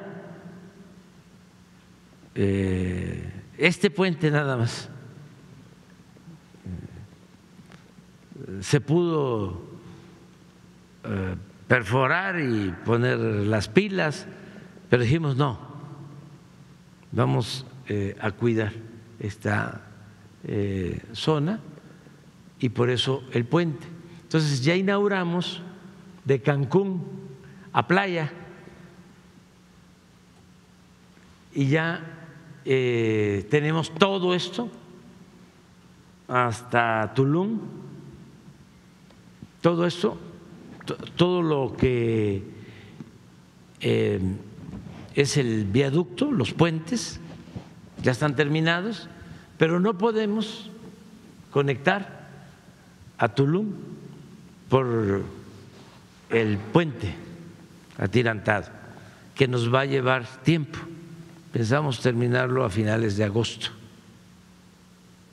Ya tenemos incluso ya la estructura metálica pero eh, nos va a llevar tiempo. Claro, no nos detenemos porque ya inauguramos el aeropuerto de Tulum. Les recomiendo que vayan. Ahora se puede porque en Mexicana no se cobra tanto por el boleto. este, y si ahorran, pueden ir, porque este es un aeropuerto único, es de los aeropuertos más bellos del mundo, es un aeropuerto en la selva, este. Este lo terminamos con la colaboración, con el apoyo de los ingenieros militares. Se hizo en un año cinco meses este aeropuerto. Y es una belleza. Entonces ya están llegando aviones de Europa y están llegando aviones de Estados Unidos a este nuevo aeropuerto que ya se terminó y estamos trabajando eh, en este tramo hasta Escárcega. Este tramo de Escárcega a Espujil, que aquí estaba Calar, que se los recomiendo mucho, es una zona arqueológica bellísima, mística, excepcional son edificios altísimos por encima de las copas de los árboles de la selva. Es algo único. Además, es una reserva ecológica que ya ampliamos de un millón quinientas mil hectáreas. Y hay no solo eh, flora excepcional, sino hay animales de monte que se los encuentra uno en el camino. Estamos cuidando la entrada a la zona arqueológica. Entonces, esto lo vamos a inaugurar en junio. Es eh, julio posiblemente aquí y agosto ya nos vamos. Todo. De modo que para septiembre esté todo terminado, todas las estaciones eh, significan eh, cocheras para guardar trenes, significan eh, instalaciones para eh, talleres y de Tella, esto también es importante, de Tella hasta Chetumal, todo eso es eléctrico, el tren de doble vía, eléctrico. Y lo que no es eléctrico está consumiendo ya un diésel de bajo azufre que se produce de manera especial en la refinería que se adquirió, que es de México, la refinería Deer Park de eh, Houston. Eso es lo que puedo comentarte. Presidente, precisamente en Cancún hay otra obra muy importante que se está construyendo, pero va lenta. Se trata del puente que se construye sobre la laguna Nichupté en la zona hotelera para ver si nos pudiera dar también un, una Sí, estás muy bien informada, porque sí, a mí también ya me preocupa. Por eso, pero como yo no solo me puedo preocupar, sino me tengo que ocupar, este Vamos ahora, que el fin de semana, y una de las obras que vamos a evaluar es la del puente este, de Cancún. ¿No, no pones la, la, la foto del puente?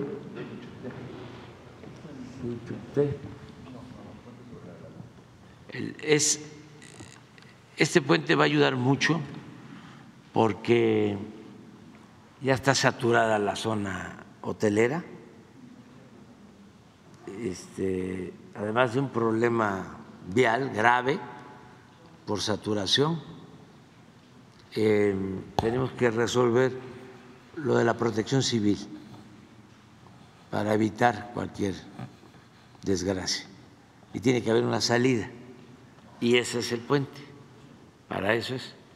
Entonces, eh, queremos, a ver si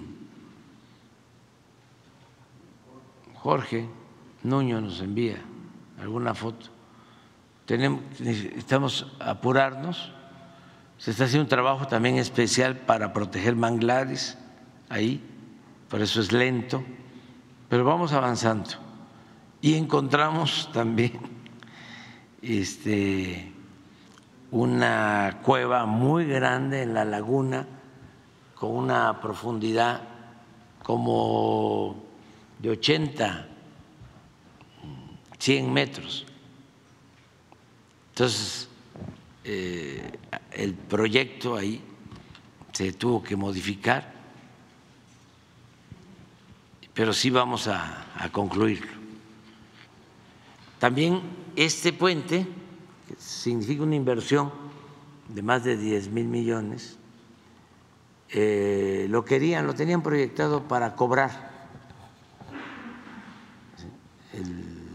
paso de peaje y decidimos no. Es obra que se está haciendo con presupuesto público y es eh, devolverle un poco a Cancún lo mucho que le ha dado a México. Porque cuando el peor momento del periodo neoliberal, eh, el único sitio donde había trabajo era Cancún, de todo el sureste. Y se fueron a trabajar, a vivir miles de mexicanos de Chiapas, de Tabasco, Campeche, Yucatán, de la Ciudad de México, de todos lados. Y eh, Cancún aporta muchísimo Imagínense, llegan de 500 a 600 aviones, eh, aterrizan o salen de Cancún llenos de turistas todos los días. Y eh, la federación se ha beneficiado muchísimo del turismo en Cancún, cómo se beneficiaron y se siguen beneficiando eh, todos los mexicanos del petróleo, que es de la Nación, que está en Tabasco, que está en Campeche, porque hay algunos que dicen, bueno, ¿y por qué tanta obra para el sureste? Pues es devolverles un poco lo mucho que han aportado al desarrollo nacional. Estaban completamente abandonados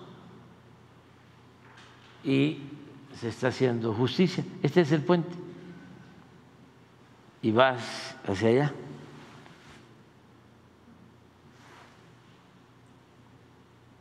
Pero pues hay que montar columnas en chalanes, pero sí lo vamos a terminar.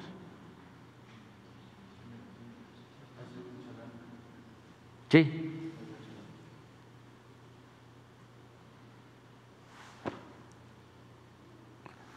A ver si nos, nos acercamos del otro lado, porque esta es la parte del Boulevard Colosio, pero del otro lado, a ver si, si está, para que vean la zona hotelera cómo está completamente llena. Hay una sola salida. Y lo que queremos es que haya esta vía, que además va a ser un puente bellísimo, está bien diseñado, va a tener una ciclovía. Un trabajador de la zona hotelera para llegar a su domicilio, a su casa, ahora, se puede llevar hasta dos, tres horas en el transporte. Con esto va a ser menos tiempo a poder estar más tiempo con su familia. Pero bueno, esa es la, la idea. Presidente, y en otro ¿Tú estás tema. allá? No, pero el medio donde trabajo es de, de allá. Allá nació. Preguntarle en otro tema para ver si en la reunión de seguridad se trató el tema de las 12 personas que fueron privadas de la libertad en Nuevo León. ¿Qué información tiene al respecto? Ya, sí, afortunadamente. Este, se encontró primero a uno y, este, y él dio la información y ya se liberaron. Ok, y ya por último, ayer en su mensaje eh, en Veracruz usted mencionó que le había pedido al presidente Joe Biden modificar la frase pobre México tan lejos de Dios y tan cerca de Estados Unidos a bendito México tan cerca de Dios y no tan lejos de Estados Unidos. Preguntarle qué le respondió, qué le ha dicho sobre esto. Bueno, ¿Está de eso acuerdo? lo platico aquí en el libro. Siento que es un tema este, que debe de analizarse bien en los dos países. Es un hecho la integración económica, comercial con Estados Unidos. Somos vecinos, compartimos una frontera de 3.180 kilómetros. Nos necesitamos, nos complementamos, viven 40 millones de mexicanos en Estados Unidos, trabajan, contribuyen al desarrollo de esa gran nación.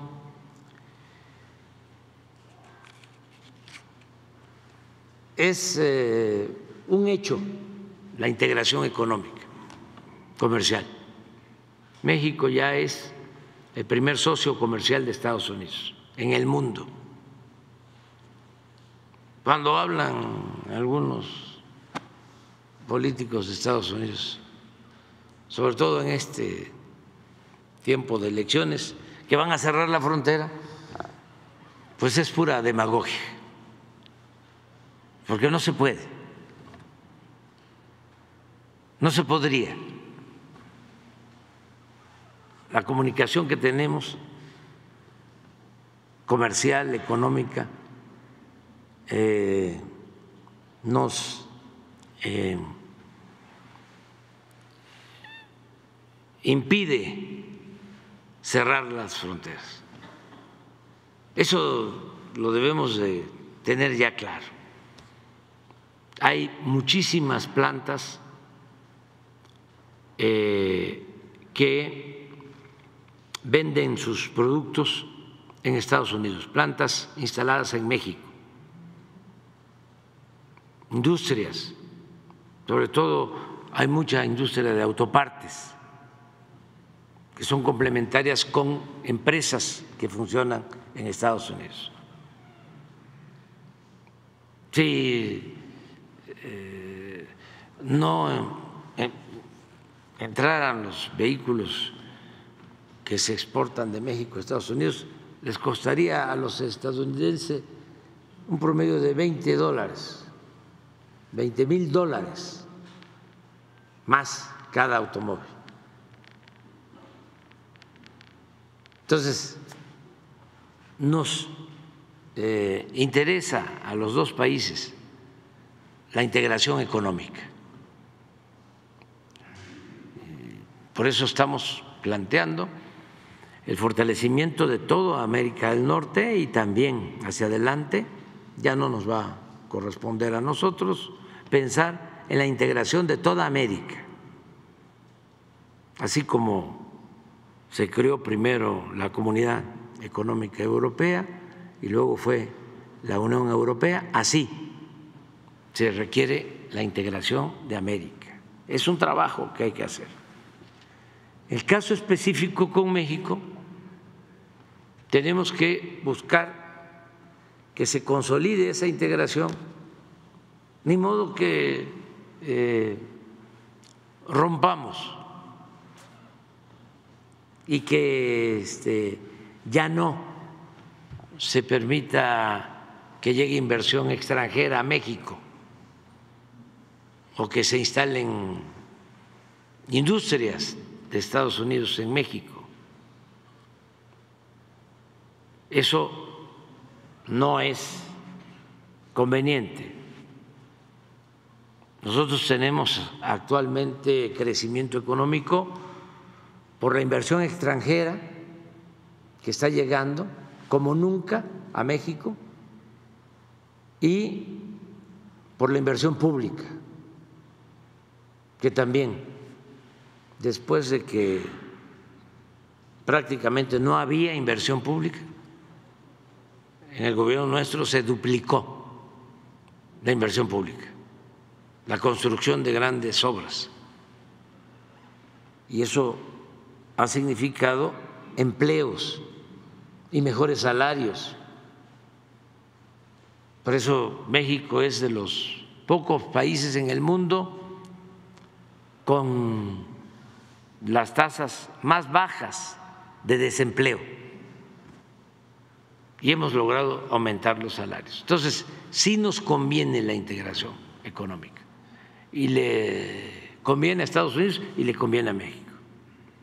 Aquí, nada más, ni nada menos. Lo importante es que se aprenda que este, sigamos eh, aplicando una política de buena vecindad y de respeto a nuestras soberanías. Ese es el pacto que hace falta. A ver, nos vamos a seguir integrando económicamente, pero ustedes no pueden ni nosotros lo vamos a permitir, absorbernos. Nosotros no vamos a ser un Estado asociado, ni mucho menos una colonia. México tiene que seguir siendo un país independiente, libre, soberano. Vámonos a la integración económica, pero esto no y tenerlo muy claro. Nada de que vas a poner autoridades en México, porque a los gobernantes de México los elige el pueblo de México.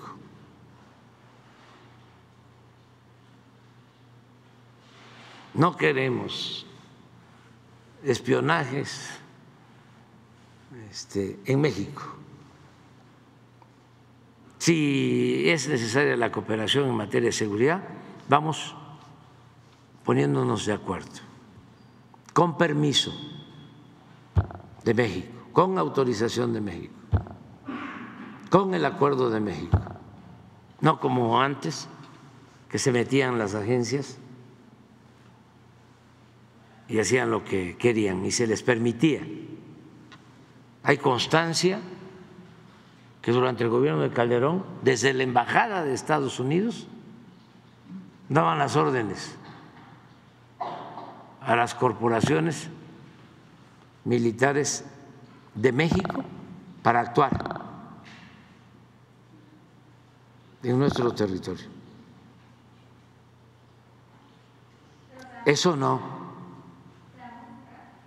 ¿Mande? Pues yo ya se lo expresé, porque es parte de nuestra historia. Los liberales no querían la integración. Lerdo decía, entre un pueblo fuerte, una nación fuerte y una débil, el desierto. ¿Por qué no pones el plano, el mapa de México?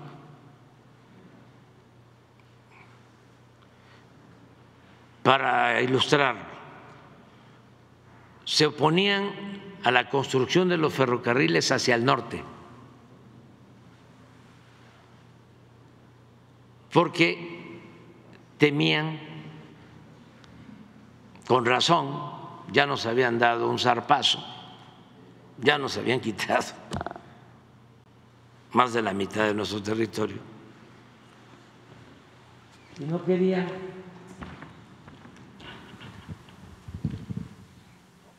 la comunicación para allá.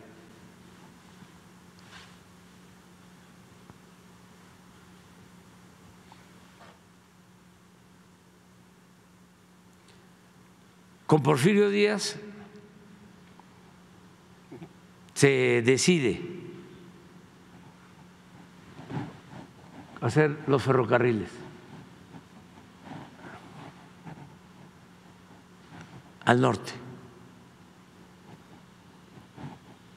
De todas maneras, Porfirio Díaz logra una política de diversificación y no pone todos los huevos, como él decía, en una sola canasta. Y había bastante relación económica y comercial con Europa, con Inglaterra, con Francia, con Alemania, para equilibrar.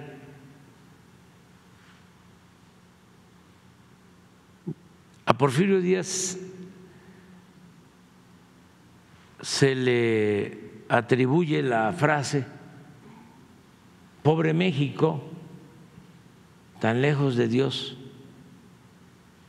y tan cerca de Estados Unidos.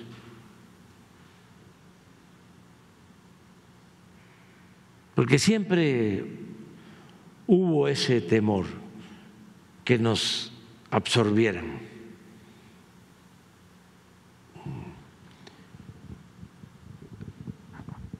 Y fue la justificación también para entregar las concesiones de ferrocarril, decir, es importante el desarrollo de México porque si no, nos van a absorber, están creciendo demasiado.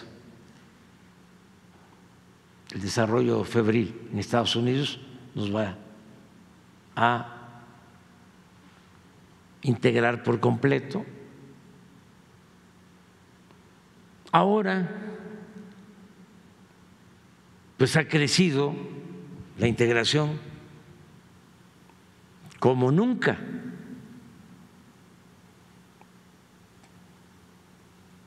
Cuando llegamos, la relación comercial más importante de Estados Unidos era China, luego Canadá y ahora es México. Pero nosotros tenemos que cuidar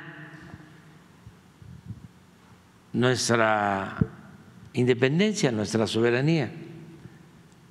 Necesitamos la integración económica.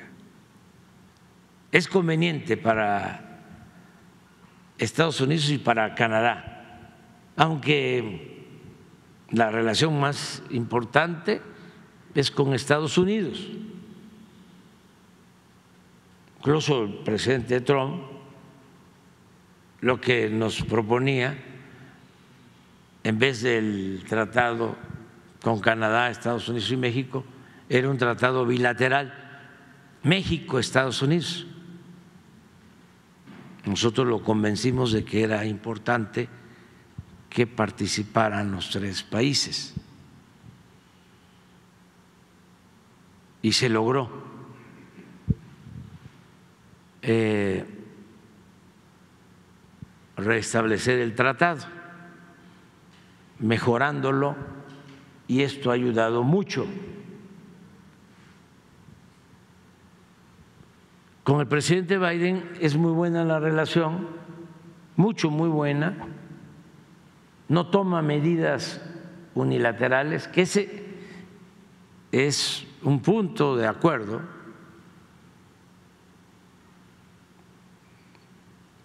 Si hay una medida que tome un país del tratado que afecte a otro, mínimo es consultar y que se pueda eh, litigar en paneles, en eh, tribunales que se establecieron en el mismo tratado. Por eso nosotros decimos, bendito México, que es lo que proponemos, bendito México, tan cerca de Dios y no tan lejos de Estados Unidos. Pero eso es un tema hacia adelante. Es cómo mantener la integración económica, que es conveniente para ambas naciones, para los dos pueblos, respetando las soberanías. Ahí está la clave de todo. Hasta ahora no ha habido problema ni con el presidente Trump ni con el presidente Biden. Pero hacia el futuro, eso es lo que tiene que eh, atenderse. Y también procurar eh, la integración con el mismo principio de respeto a las independencias de los pueblos, la integración de toda América. Y esto haría un continente muy fuerte en el concierto de las naciones, continente más fuerte del mundo, por los recursos naturales, por su población, por la tecnología, por el financiamiento, por la cercanía, porque ya se está convirtiendo en un problema eh, todo lo relacionado con el transporte de mercancías. Por eso también México tiene esto que es un tesoro que hay que cuidar.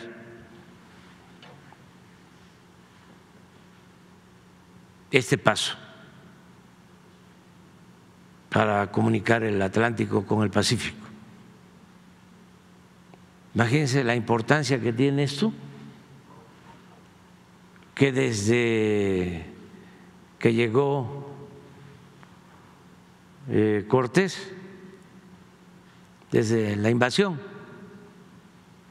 Carlos V le pidió que explorara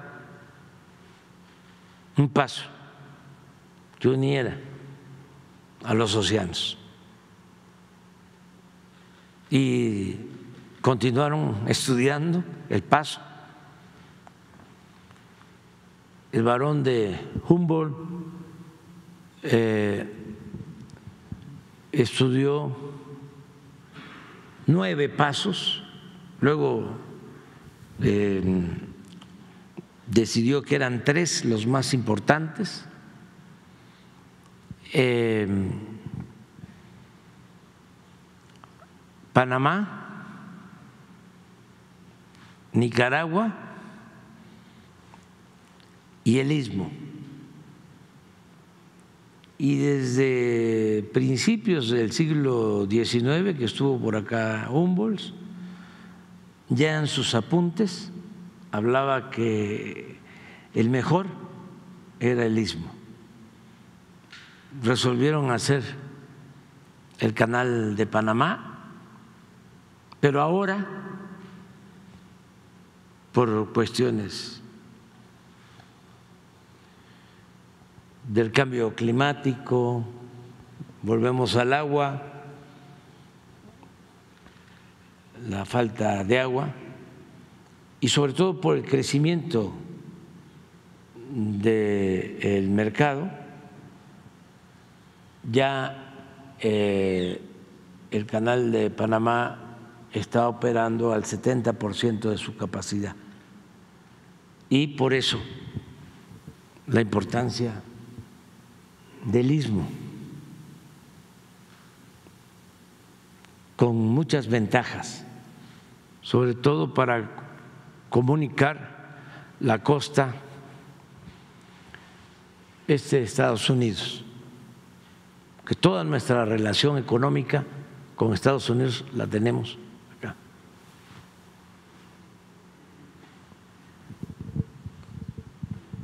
Pero bueno, ya eso le va a corresponder a los que nos van a sustituir, pero es importante que se conozca.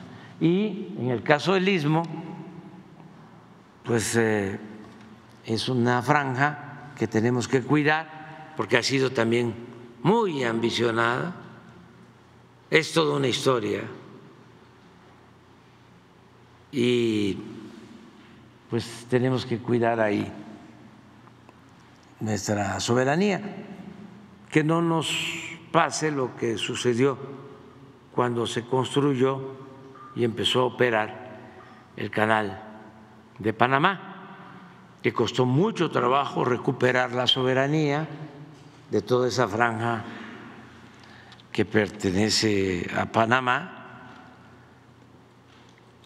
que es hasta que llega el general Torrijos, que se recupera en un acuerdo con un gran presidente de Estados Unidos que ya está grande, pero que todavía está con vida y le deseamos que siga bien, presidente Carter. Él le devolvió la soberanía del canal a Panamá. Y eso ayuda mucho a nuestro pueblo hermano de Panamá, que también siempre lo digo, lo de nosotros del istmo no es para competir, no es para afectarlos en nada.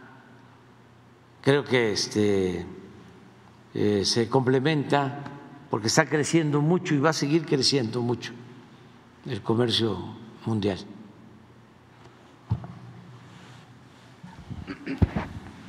Buenos días, presidente Alonso Urrutia, del periódico La Jornada. Quisiera regresar rápidamente al asunto de Claudia Sheinbaum. Ya usted ha dejado claro que para usted fue un montaje y fue un acto de propaganda, pero me queda la duda, presidente, ¿dónde estaba el equipo de seguridad de la candidata? Entiendo que el equipo de seguridad de la candidata, ¿dónde estaba? ¿Qué reportes tienen? Ellos, este... Supone que es el ejército el que está a cabo. Sí, eh, eh, todos los candidatos tienen protección. Pero ¿cómo pudieron acercarse tanto? Se acercaron, se acercaron, eh, vieron que no estaban este, armados y estuvieron nada más ahí pendientes. Pero además, eh, esto es bastante común cuando uno recorre todo el país. En las carreteras los paran a uno. Em, si yo voy a una gira por la Costa Chica, ya sé que me tengo que parar 20 veces de Acapulco a Margelia, o 30, me están parando. Eh, les voy a mostrar dónde fue, o sea, para que tengan una idea. Pon los. Eh, es Motocintla, es la frontera con Guatemala. Yo he recorrido ese camino 20 veces. Esa es la zona que está en disputa por dos grupos. Sí, pero ni siquiera es eh, eh, ahí. Sea, está, cerca de ahí, pero no, no, no en esta zona.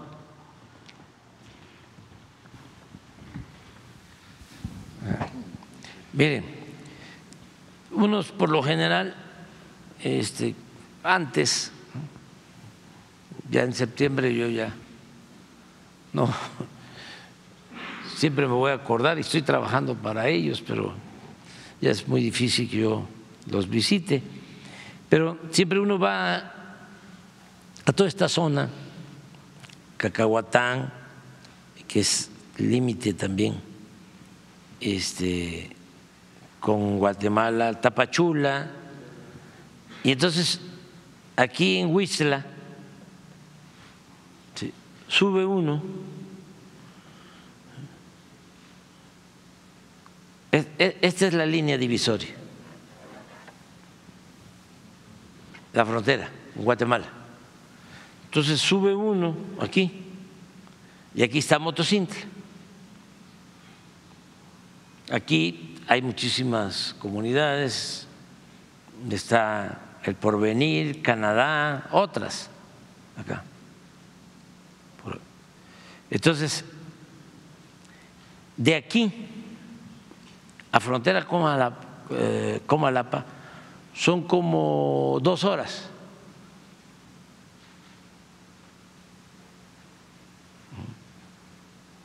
Hora y media, dos horas. Entonces, según entiendo, esto fue aquí, a la entrada. ¿Sí? Entonces hablaron de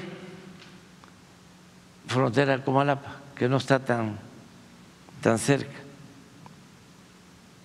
Nosotros estamos haciendo, ya se los había comentado, pues eh, una aquí, una carretera con dos puentes, porque eh, toda esta gente que vive en la sierra, muy marginada, para ir a Tuxtla, pues tiene esto como opción. O esto.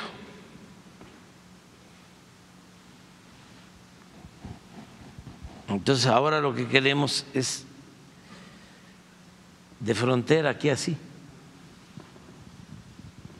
Entonces estamos haciendo dos puentes aquí en la angostura uno que se llama Rizo de Oro y otro que se llama así, La Angostura. A ver, pon el último puente, a ver si ya. Este es hoy, miren.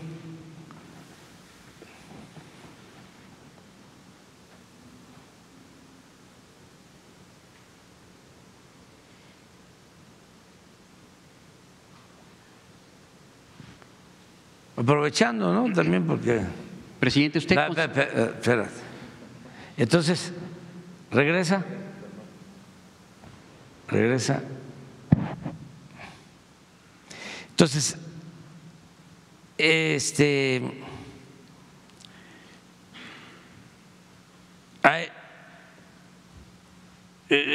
se parece que se quejaban de los de, de acá de frontera, ¿no? En frontera con Malapa. Sí. Que querían que los quitaran. Entonces hay que verlo, porque sí hay grupos aquí de la delincuencia. ¿Sí? Hay dos grupos de la delincuencia que están enfrentados. Acaba de haber, ahí donde está el puente que les mostramos, por ahí cerca hubo un enfrentamiento. Ahí tenemos una base, un campamento de la Guardia Nacional para proteger a los ingenieros civiles y a los trabajadores. O sea, presidente, en este contexto de la disputa de los grupos, ¿usted considera que no estuvo en riesgo la integridad de la candidata? No, no, no, no. Este eh, es, repito, eh, propaganda. ¿Mande? ¿Propaganda de los propios grupos criminales? Puede ser de ellos, puede ser de grupos opositores del bloque conservador. Hay una situación crítica ahí, presidente. y este, en eh, comunicación con este medio este, Latinos. de Loret de Mola, sí. Los reporteros ya habían pasado por ahí, pero se siguió al, al lugar del mitin. El otro reportero decidió quedarse ahí. Sí, pero- donde estaban los Es muy extraño, muy extraño. O sea, para como son ellos,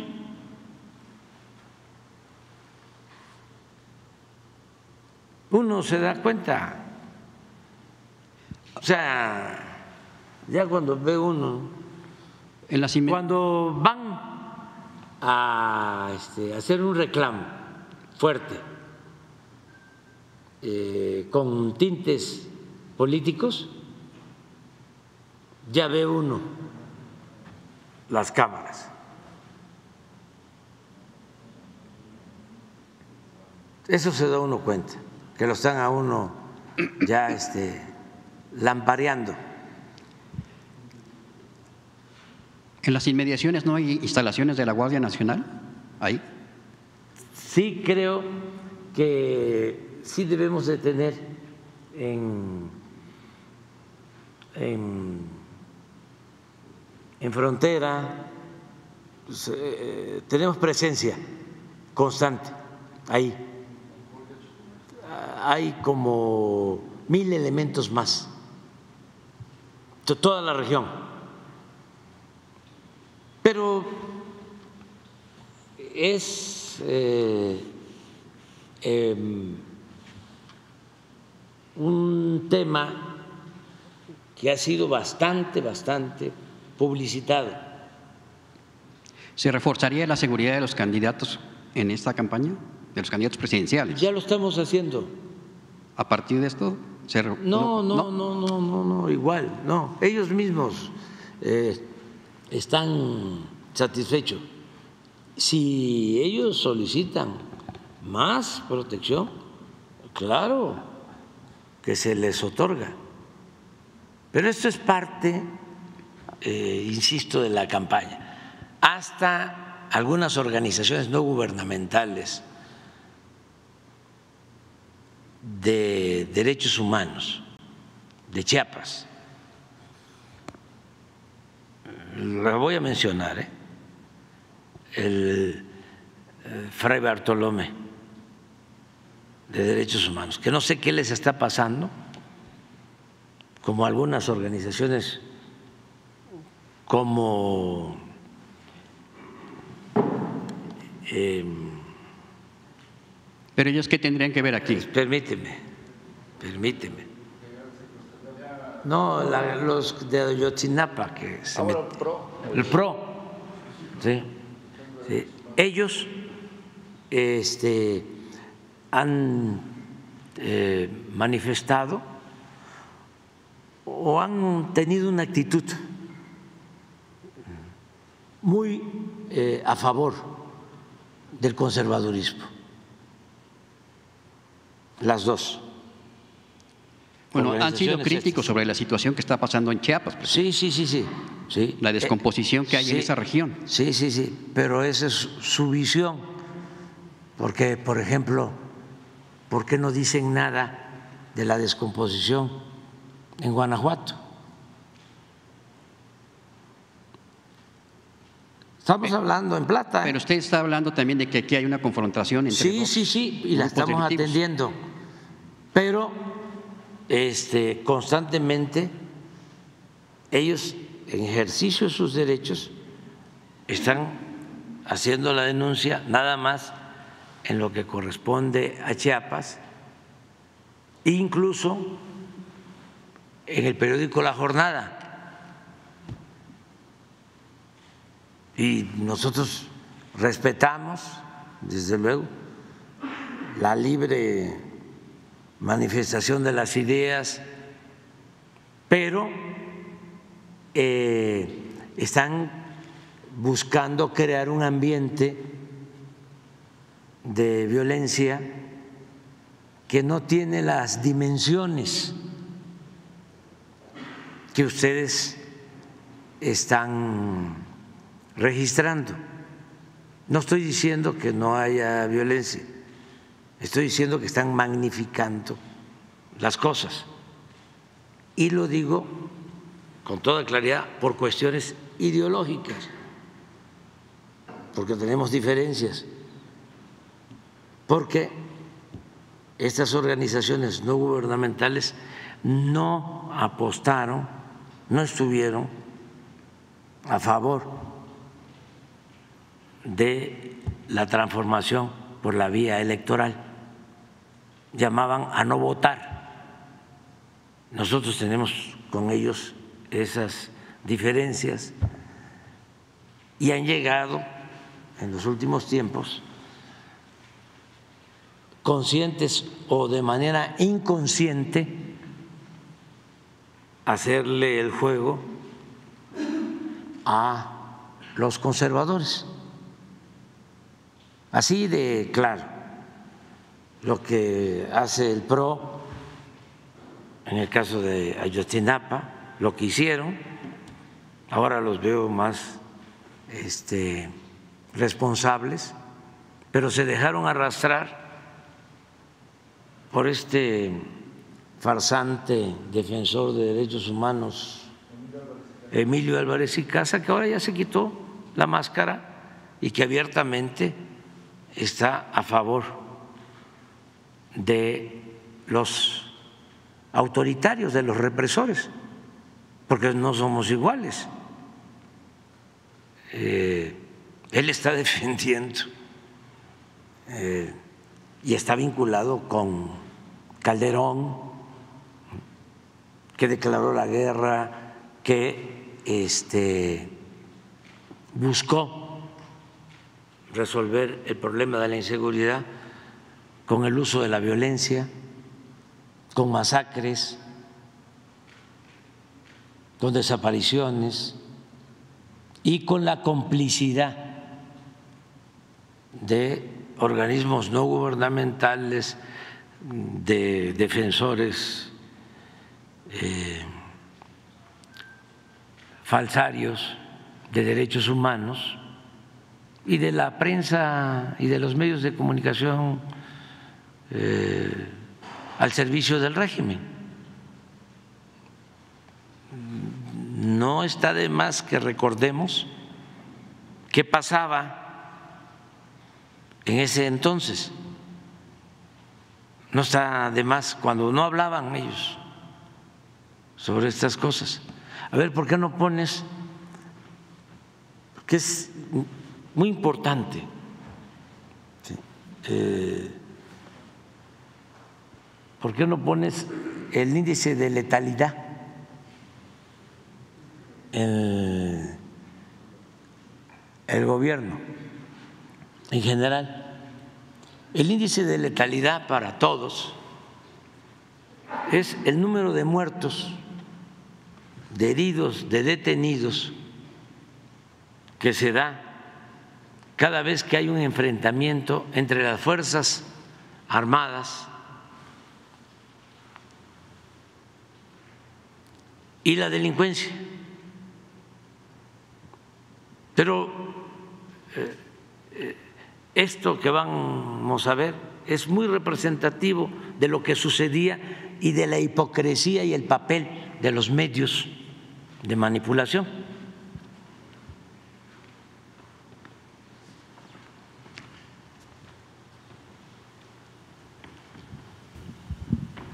Porque no somos iguales. Esto, este es el índice de letalidad, pero bueno, en los enfrentamientos eh, que es esta línea azul, son los enfrentamientos entre las Fuerzas Armadas, la línea azul, y la delincuencia. En esos enfrentamientos, estos son los civiles fallecidos.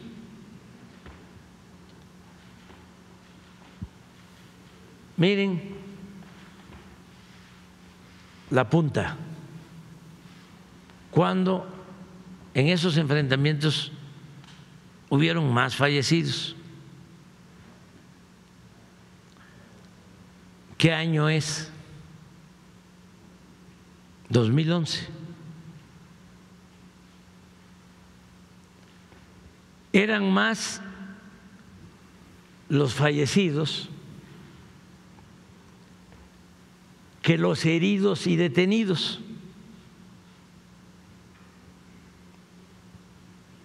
¿Qué significa esto? Que eliminaban heridos.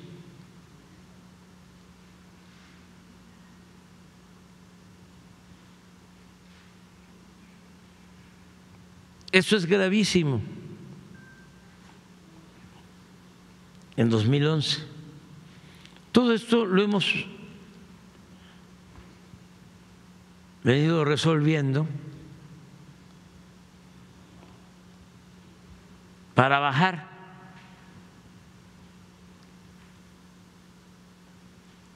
los fallecidos de heridos y detenidos. Aquí tenemos 92 fallecidos, 195 heridos y detenidos. Hay una gran diferencia, porque se lleva a la práctica una política de protección de derechos humanos y de uso controlado de la fuerza. Lo más importante de todo es que cuando está esto, son las masacres de Calderón, por eso tampoco me voy a cansar de repetir que la única doctrina de los conservadores es la hipocresía. La única doctrina es la hipocresía. Y la religión y su Dios es el dinero. Hablando con claridad, sin medias tintas exactamente aquí, en 2011, y búscame la fecha, se reúnen los dueños de los medios de información con Calderón y hacen un pacto de silencio.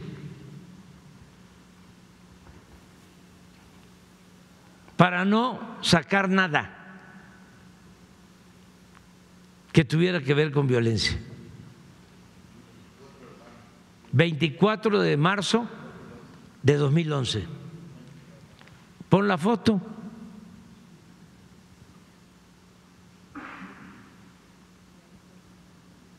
Entonces, estos grupos con los que tenemos diferencia, a los que haces mención, este, y citan constantemente en la jornada, pues piensan o no quieren aceptar de que ya son otros tiempos y que no somos iguales. Miren la reunión del 2011.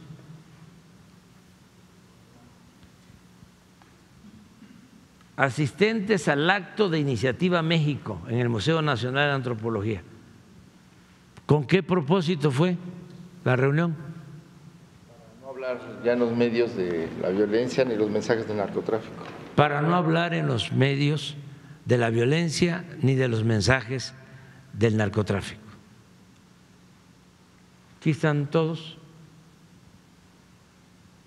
los más famosos de los periódicos, de la radio, de la televisión y los dueños de los principales medios de información.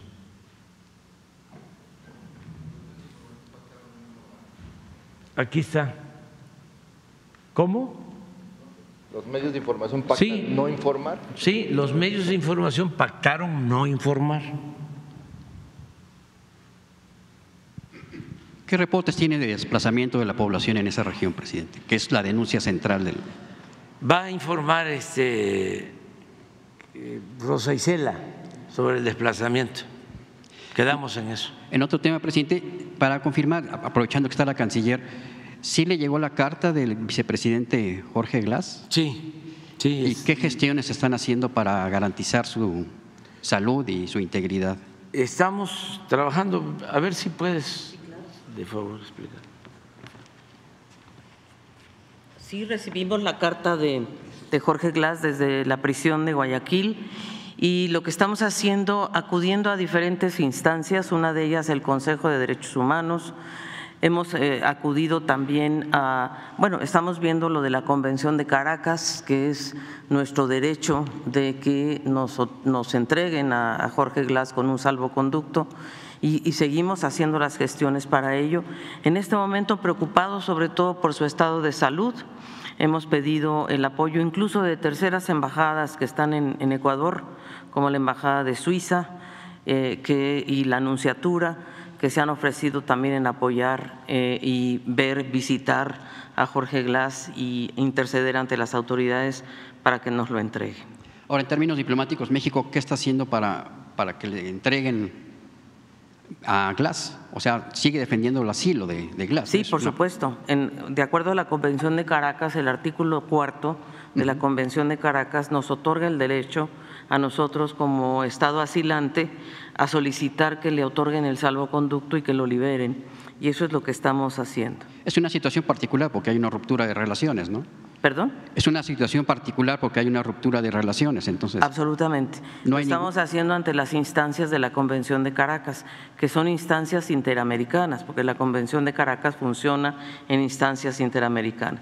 La verdad es que ahorita estamos concentrados también en la Corte Internacional de Justicia, que solamente ve el caso de la violación de nuestras dependencias, porque la audiencia va a ser el 30 de abril y ahí en esa, estamos concentrando, por instrucciones del presidente, mucho esfuerzo en este momento jurídico para ganar ese caso ante la Corte Internacional de Justicia, que debo decir que nos han atendido muy rápidamente y nos han dado la, la audiencia inmediatamente. Por otra parte, estamos haciendo todo el análisis de cómo podemos acelerar que nos entreguen a Jorge Glass y que, que le den el salvoconducto respectivo. ¿No hay contacto alguno con el gobierno de Ecuador? No, ninguno. Con el gobierno de Ecuador, ninguno. Gracias. Presidente, una última pregunta. Hoy se reúne con la CENTE, hasta donde entiendo. Sí. Este, ¿Cuál es el balance que ha tenido este reencuentro? Porque hace ocho días fueron particularmente críticos con el balance que ellos han tenido en, el sexenio, porque pues, consideran que no se ha desmontado totalmente la, reforma educativa del. Pues nosotros los respetamos mucho a los de la CENTE y además les reconocemos que fueron los únicos o fueron los principales defensores de la educación pública en los momentos cuando los gobiernos neoliberales querían privatizar la educación. Volvemos a lo mismo.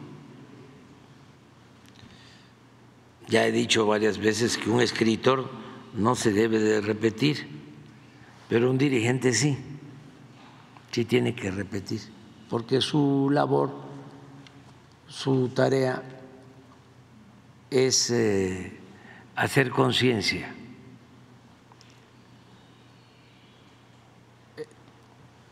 ¿Quién era el eh, líder de el movimiento contra la educación pública en el sexenio de Calderón y del licenciado Peña Nieto? Claudio X González, el gerente ahora del bloque conservador, del consorcio, porque si es gerente es consorcio, conservador. Lo mismo. Entonces, iba a Oaxaca y tenía este, una asociación en contra de la educación pública, en contra de los maestros, eh, ofendiéndolos, difundiendo públicamente de que no trabajaban de que por eso estaba muy mal la educación pública, echándole la culpa de todo a los maestros, no tomando en cuenta otros factores. Entonces, la gente los eh, enfrentó, eh, nosotros ayudamos a la gente cuando estábamos en la oposición. No fueron los del bloque conservador, fuimos nosotros. Eh, por eso les tenemos muchas consideraciones. Y además les reconocemos que fueron una vanguardia para la defensa de la educación pública y de los derechos del magisterio.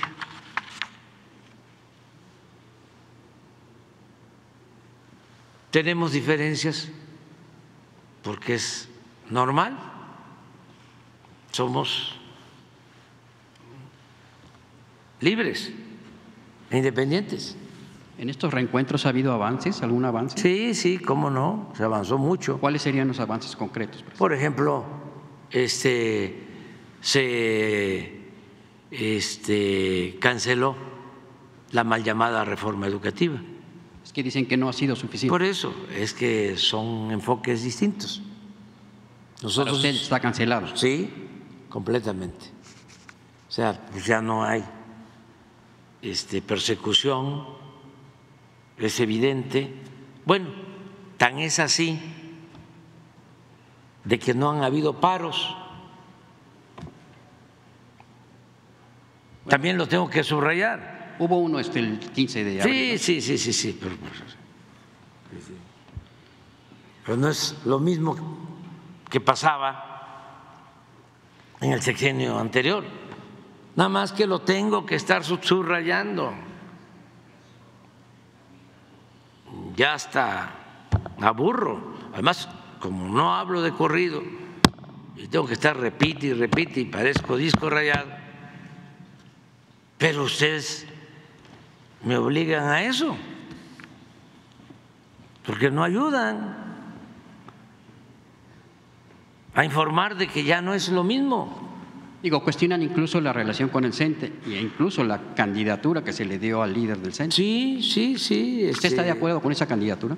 Con la candidatura al líder del CENTE. ¿Cuál es? Ah, candidato senador pues tienen todo el derecho de cuestionarlo. Pero son me refiero si usted libres. está de acuerdo con esa candidatura. Por Yo no, movimiento. yo no, porque yo no me meto en cuestiones electorales y además, este, yo creo que todos, todos, todos, todos tenemos derecho a votar y ser votados. Todos los ciudadanos. Y aquí en el libro hablo de cómo hay dirigentes consecuentes durante un buen tramo y luego claudican. Hay muchos ejemplos. Y también lo opuesto, de cómo hay dirigentes o personajes políticos que se portan muy mal durante un buen tiempo y al final actúan de manera consecuente hasta que se mueren. No Porque el juicio histórico eh, se tiene que hacer hasta el final. Pero esto no es el caso del CENTE. Ellos estuvieron a favor de la reforma de Peña. Trabajaron con Claudio X González. Pero ya cambiaron de, si usted me dice que es candidato, esto significa que ya cambiaron de modo de pensar y es de sabios cambiar de opinión. Además, la política y todo lo que hacemos tiene que ver con seres humanos. Todos cometemos errores, solamente el Creador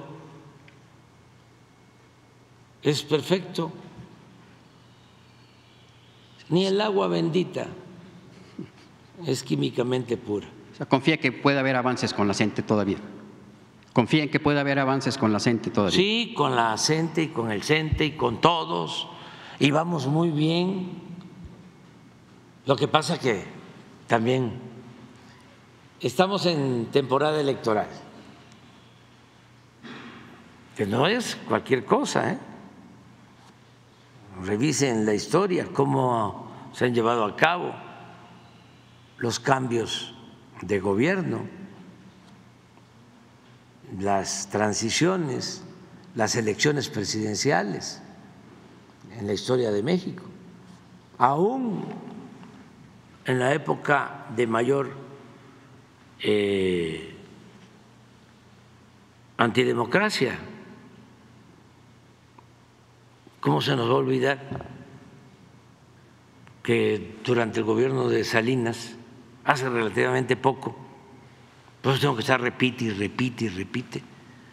Asesinaron al candidato del PRI a la presidencia. Por eso tocó madera. Sí, y ojalá, y es lo que decíamos todos, que se vaya la elección el 2 de junio y que cada quien de manera libre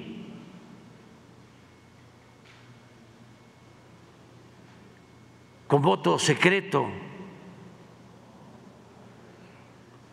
decida sobre el destino de México sin eh, amenazas, sin que le compren su voto, sin manipulación. Ojo, mucho ojo, no se dejen manipular libremente y ejerzan su derecho y de manera pacífica. Y esto es engrandecer más a México. ¿Por qué estar apostando a la confrontación, a la violencia? Sí, está bien, ¿no? Que es temporada electoral. Siempre hay guerras sucias. Pero todo debe de tener un límite y eh, no optar por la violencia y no sea hacer apología de la violencia y no andar ahí sopiloteando, viendo a ver qué desgracia sucede para hacer amarillismo en los medios. Está peor que la alarma. Este, mucho sensacionalismo. Tenemos que estar deseando que no pase nada, que todo transcurra en santa paz. Y así va a ser. Yo estoy optimista. Van muy bien las cosas, este, eh, todos se están portando a la altura de las circunstancias, todos los candidatos de todos los partidos. Y al final, pues van a ser los ciudadanos los que van a decidir, porque eso es la democracia. Y no hay que tenerle miedo al pueblo. dejar que la gente se exprese. Y eso es, básicamente. Eh, y no. ¿Cuánto falta ya para la elección? ¿Cuántos días? Este, son ocho meses, ocho, como 40 días. Como 40 días, 42 días. 42 días. Ya. Falta poco. Muchas gracias, presidenta. Vámonos a desayunar. Ya, a desayunar. Ya, ya hay hambre.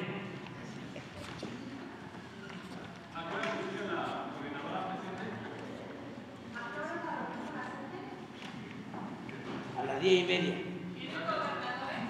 Sí, algunos. Además, saliendo la coordinadora les va a informar.